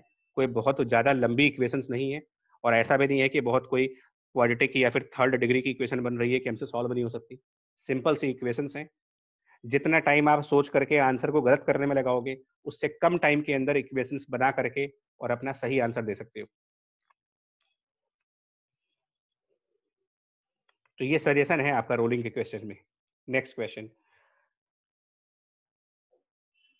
अभी तक जितने एग्ज़ाम्पल मैंने रोलिंग के लिए वो ग्राउंड के ऊपर लिए थे अब ये एग्ज़ाम्पल ले रहा हूँ जिसमें रोलिंग किसी प्लैंक के ऊपर होगी। अभी तक का ती, तीन लेक्चर्स हो गए और तीन लेक्चर्स तक बॉडी ग्राउंड पे ही रोल कर रही थी। फाइनल लेक्चर है फाइनल क्वेश्चन में ये बॉडी किसी प्लैंक पर रोल करेगी। इसमें क्या कंसेप्ट लगाएँगे? सिलेंडर है रेडियस आर मास एम उसके सेंटर पर फोर्स लगाई। प्लैंक का मास भी दे रखा है और नीचे सरफेस स्मूथ है।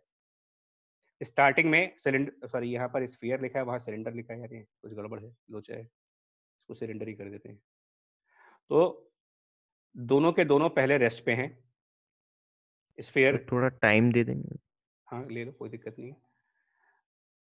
एक मिनट का टाइम देते हैं आपको ठीक है? आप एक मिनट में अपनी वर्किंग कर लो आप अच्छी चीज़ है बल्कि सेल्फ वर्किंग करना चाहिए। ये स्फीयर यार एक मिनट रुको रुको रुको रुको एक मिनट रुको पहले। हम बार बार स्फीयर को काटे इससे अच्छा है कि एक बार सिलेंडर को ही काट के स्फीयर कर देते हैं। क्योंकि क्वेश्चन में एक्चुअली बार बार स्फीयर लिखा है मतलब डायग्राम में गलती है। ठीक है तो एक मिनट स्फीयर और प्लैंक के बीच में फ्रिक्शन है? क्वेश्चन uh, का सी पार्ट पढ़ो। हाँ सर है। चलो आप बना लो सर एक मिनट की टाइम लो और एक मिनट के अंदर अपनी वर्किंग करके देखो क्या इक्वेशंस बन रही है। फिर हम लोग इक्वेशंस मैच करेंगे। अगर इक्वेशन सही हो जाएँगी तो इसका मतलब आंसर भी सही आएगा। करो। देखो कैसे करना है ड्रिल बाकी लोग भी सुनिएगा। कैसे करेंगे इस क्वेश्चन को? सबसे पहले बिकॉज़ हमने कहा था क्वेश्चन में सबसे पहले फोर्सेस देखनी होती। है तो हम स्फीयर और प्लैंक के बीच फ्रिक्शन फोर्स की कोई डायरेक्शन को एज्यूम करेंगे। हम ये मानते हैं कि स्फीयर पर फ्रिक्शन पीछे की तरफ़ लगेगा और प्लैंक पर फ्रिक्शन फॉरवर्ड लगेगा। ये मानते हैं। Action equal to reaction minus के साथ है। तो एक्शन रिएक्शन होगा एक्शन लेफ़्ट रिएक्शन राइट तो ये उस हिसाब से लग रहे हैं एक्शन और रिएक्शन पेयर्स के हिसाब से दोनों पे फ्रिक्शन लगेंगे। प्लैंक की वजह से स्फीयर पर और स्फीयर की वजह से प्लैंक पर, दोनों पर फ्रिक्शन काम कर रहे हैं। स्टैटिक फ्रिक्शन होंगे क्योंकि ये रोलिंग विदाउट स्लिपिंग है। फिर हमने फोर्सेस को देख करके और ये लगाया, ये गेस किया कि कौन सी बॉडी किधर मोशन कर सकती है। प्रोबेबल डायरेक्शन क्या है लिखी तो प्लैंक पर जो फोर्स है, उसको देख करके आप क्या कह सकते हो? क्योंकि वो प्लैंक बिगिनिंग में तो रेस्ट पे था। तो प्लैंक का मोशन फोर्स के अकॉर्डिंग राइट साइड होगा या लेफ़्ट साइड होगा ये देखो आप। Right right side. प्लैंक तो ये क्लियर है। इसका मतलब motion of plank is going to be on the right hand side. Let us assume acceleration is AP sphere के बारे में क्या बोल सकते हो? उस पर एक राइट right साइड की फोर्स है एक लेफ़्ट साइड की फोर्स है। तो आपका इंट्यूशंस क्या बोलती है कि स्फीयर का जो सेंटर होगा वो राइट साइड एक्सेलरेट होगा या लेफ़्ट साइड एक्सेलरेट होगा? Right side. ये मानना पड़ेगा। इसमें डाउट है। हो सकता है फ्रिक्शन ज़्यादा है। फ्रिक्शन का पता नहीं हाँ। तो मैं यहाँ पर एजम्पशन है कि एसी राइट होगा ये मैं मान के चल रहा हूँ। और torque about the centre of sphere देखो। सेंटर के तो अबाउट केवल फ्रिक्शन से आएगा क्लॉकवाइज की anti clockwise clockwise clockwise clockwise अभी क्या आंसर मैच कर रहे हैं बच्चे एक मिनट। तो अल्फ़ा के बारे में भी आप श्योर हो। मतलब देखो अल्फ़ा के बारे में आप श्योर हो एसी के एपी के बारे में कंफर्म हो सेंटर के सेंटर की एक्सेलरेशन में डाउट था, उसको हमने राइट मान लिया है, ठीक है? तो देखो, मेरे स्टेप्स अभी भी वही है जो प्रीवियस क्लास में मैंने कहा था, या कि रोलिंग को डील करने के तरीके यही है। पहले फोर्सेस बनाइए, फिर चेक कर लो कौन सी बॉडी किधर एक्सेलरेट कर सकती है, उनकी डायरेक्शंस देख लीजिए पहले, और अब हम इक्वेशंस बनाएँगे इसकी। तो अब जब इक्वेशंस बनाओगे तो इक्वेशंस कैसे कैसे बनेंगी? देखिए, सबसे पहले इक्वेशन फॉर प्लैंक क्या बनेगी? इक्वेशन फॉर प्लैंक पर सिर्फ़ एक फोर्स है, वो है फ्रिक्शन, इक्वल टू उसका मास। ठीक है? एक्चुअली अभी कैलकुलेशन में मासेस कैंसिल ना हो जाए, इसके लिए मैं एम पी डिनोट कर दे रहा हूँ इंटू ए पी वरना पता चलता है छोटे एम और बड़े एम को हम लोग कैंसिल कर देते हैं। ये गलतियाँ होती हैं बहुत सारी हमारी। अभी क्या सही आंसर है बच्चा, एक मिनट। उसके बाद इक्वेशन जब बनाएँगे तो for translation of sphere sphere में दो इक्वेशंस बनेंगी, एक उसके ट्रांसलेशन की, एक उसके रोटेशन की। तो ट्रांसलेशन वाली इक्वेशन जो बनेगी स्फीयर की, वो बनेगी applied force F minus opposite force friction बराबर स्फीयर का मास इनटू उसके सेंटर की एक्सेलरेशन उसको ए लिख दे रहे इसको ए की जगह ए एस मतलब स्फीयर के सेंटर का एक्सेलरेशन और तीसरी for the rotation of sphere अब क्या इक्वेशन बनेगी?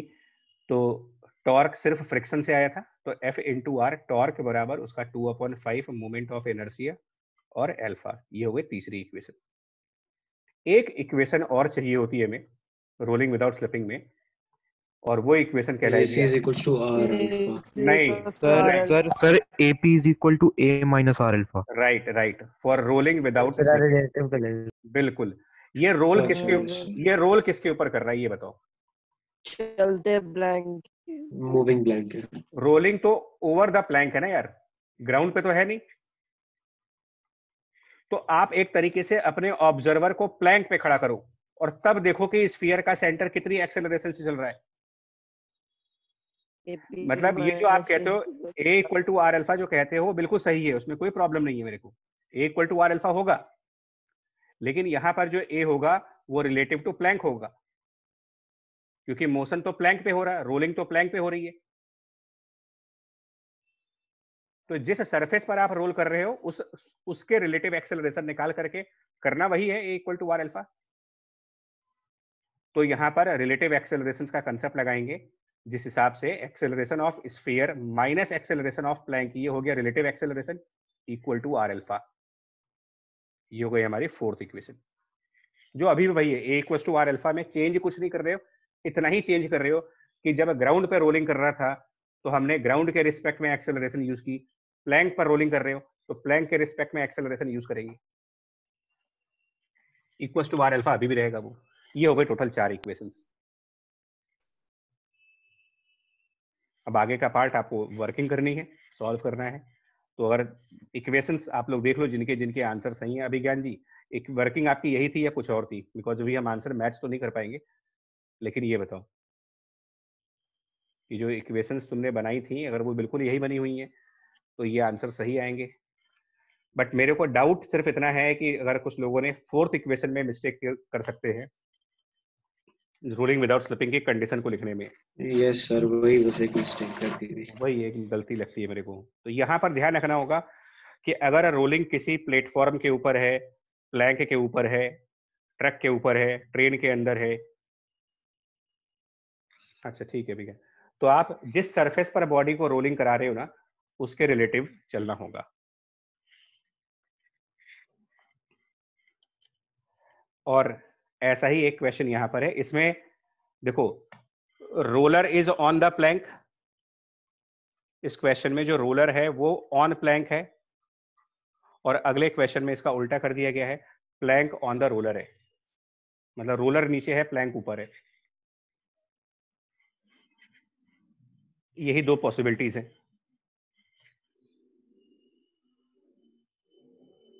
यही दो पॉसिबिलिटीज हैं सॉल्व करने की।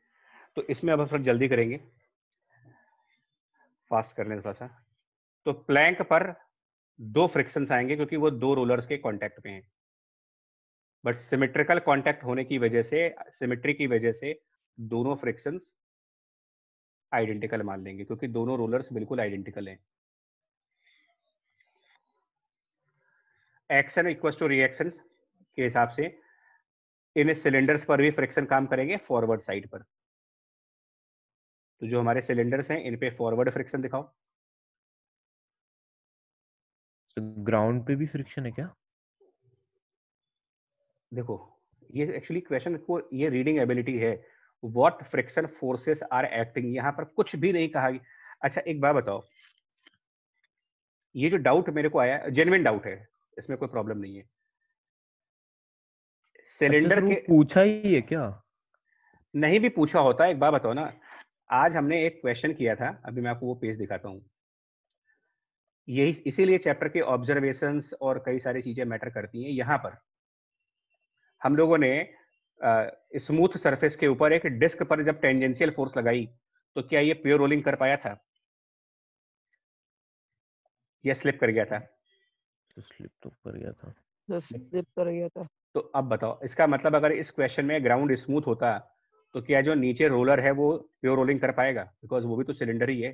सिलेंडर इसका मतलब ग्राउंड का फ्रिक्शन ऑब्वियसली होना चाहिए। नहीं तो प्योर रोलिंग हो ही नहीं पाएगी। तो डेफिनेटली लिखा नहीं जाएगा क्वेश्चन में कभी। इसका मतलब ग्राउंड पे फ्रिक्शन है। उसको हम एफ़ जी डिनोट कर दे रहे हैं फ्रिक्शन एट ग्राउंड तो आगे है, ये कैसे कह सकते हैं? माना है तो कुछ तो भगवान का इसीलिए कहा जाता है पूजा पाठ करिए। भाई कुछ मानोगे पता नहीं वो सही माना, गलत माना है। एजम्पन है मेरा राइट साइड सियोरिटी तो किसी बात की नहीं है। ऊपर जो फ्रिक्शन लगा है, वही उसकी, उसी की कोई सियोरिटी नहीं है कि वो सही दिखाए है। अब फोर्सेस हो गए। वर्टिकल एमजी एमजी नहीं दिखा रहे हैं। एमजी नॉर्मल रिएक्शन नहीं दिखाएँगे पहले क्लियर कर दे रहे हैं आपको, क्योंकि वो वर्टिकल लगेंगे। इसके बाद मोशन की डायरेक्शंस को ऑब्ज़र्व करने का काम आता है। प्लैंक को हम फॉरवर्ड मानते हैं। सिलेंडर्स को फॉरवर्ड मानते हैं और इनके अल्फ़ा को क्लॉकवाइज मानते हैं। ये सब हमने माना। अब अपनी इक्वेशंस बनाएँगे। तो प्लैंक की इक्वेशन अब आप बताओ क्या लिखोगे? इक्वेशन फॉर प्लैंक बताइए। ट्रांसलेट कर रहा है या रोटेट कर रहा है वो? ट्रांसलेट कर रहा है। क्या लिखें? कैपिटल है? Capital F minus F minus two F is equals to MAP. हाँ mass of plank into A of plank एक इक्वेशन दो फ्रिक्शंस लग रहे हैं क्योंकि दो रोलर्स के कांटेक्ट में है वो। अब सिलेंडर्स के ऊपर। तो सिलेंडर में ध्यान रखना है सिलेंडर की दो दो इक्वेशन लिखी जाएँगी। क्योंकि सिलेंडर रोल कर रहा है तो एक उसकी ट्रांसलेटरी इक्वेशन ट्रांसलेटरी इक्वेशन में ऊपर वाला फ्रिक्शन और नीचे ग्राउंड वाला फ्रिक्शन सेम डायरेक्शंस में है तो equal to mass of the cylinder into acceleration of its centre roll rotate भी कर रहा है ये। अल्फ़ा क्लॉकवाइज माना है। जो टॉप वाला फ्रिक्शन है वो क्लॉकवाइज टॉक देगा और जो ग्राउंड वाला फ्रिक्शन है वो एंटी क्लॉकवाइज टॉक देगा। अच्छा एक मिनट रुको। रुक जाओ।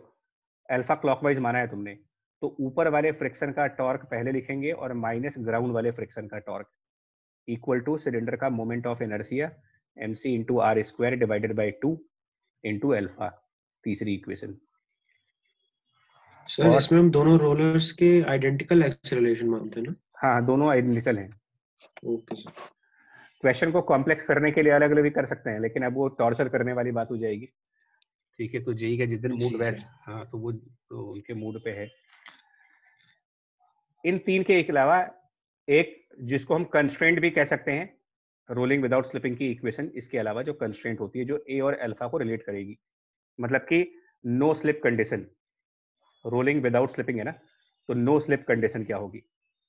यहाँ पे A plus R alpha हो AC plus R alpha. Right right right right no slip condition जो होगी ये अप्लाई करोगे एट कांटेक्ट पॉइंट और आप सुनना। दो जगह पर नो स्लिप है।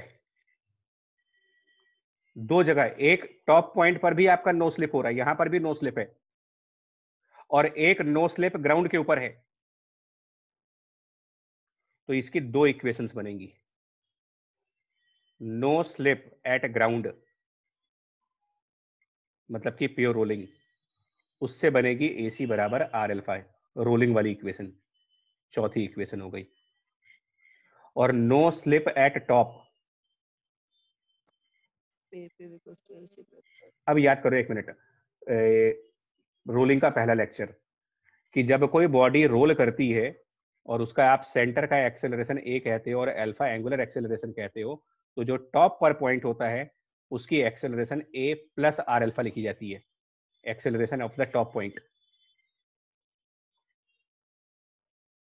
मतलब सिलेंडर के टॉप मोस्ट पॉइंट की एक्सेलरेशन सिलेंडर की सबसे टॉप वाले पॉइंट की एक्सेलरेशन वो होगी उसके सेंटर की एक्सेलरेशन प्लस आर एल्फा क्योंकि सिलेंडर में ट्रांसलेशन भी है रोटेशन भी है। तो टॉप पॉइंट पर ट्रांसलेशन की वजह से भी एक्सेलरेशन होगी और टॉप पॉइंट पर रोटेशन की वजह से भी एक्सेलरेशन होगी। और सिलेंडर का टॉप पॉइंट और प्लैंक अगर आपस में स्लिप नहीं कर रहे तो जिस एक्सेलरेशन से प्लैंक आगे बढ़ रहा होगा उसी एक्सेलरेशन से सिलेंडर का टॉप मोस्ट पॉइंट भी आगे बढ़ना चाहिए। नो नो स्लिप का मतलब दोनों बॉडीज जो एक दूसरे के कांटेक्ट में हैं वो सेम एक्सेलरेशन से चलें। अगर उनके एक्सेलरेशन सेम ना हुए तो एक बॉडी फॉरवर्ड मूव कर जाएगी एक रिलेटिवली पीछे रह जाएगी बॉडीज स्लिप कर चुकी होंगी। तो top most point of the cylinder where the total acceleration obtained by combination of translation and rotation is A C plus R alpha should be equal to the acceleration of plank this is our fifth equation no slip दो जगह पर है यहाँ पर।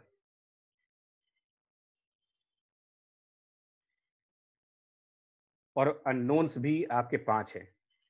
AP is unknown AC is unknown alpha is unknown This ground friction is unknown. Friction between the plank and cylinder is also unknown. पाँच unknowns हैं पाँच equations चाहिए होंगे हमें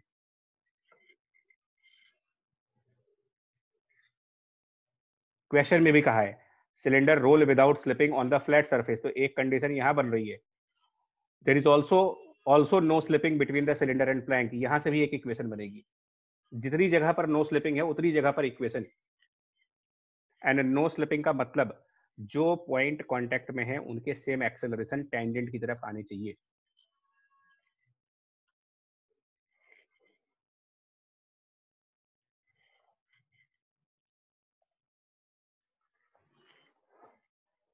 नहीं सासवा जी, खतरनाक तो है भैया रोलिंग से ये हो ही गया शायद। हाँ हो गया, खत्म। ये रोलिंग की तीन लेक्चर की सीरीज़ खत्म हो गई एक्चुअली मतलब इसके बाद अब आपको हम छोड़ देते हैं, अब आप जैसे करना चाहो। और उसके बाद जो है, ठीक है मतलब पहले इसको तो क्लोज करें।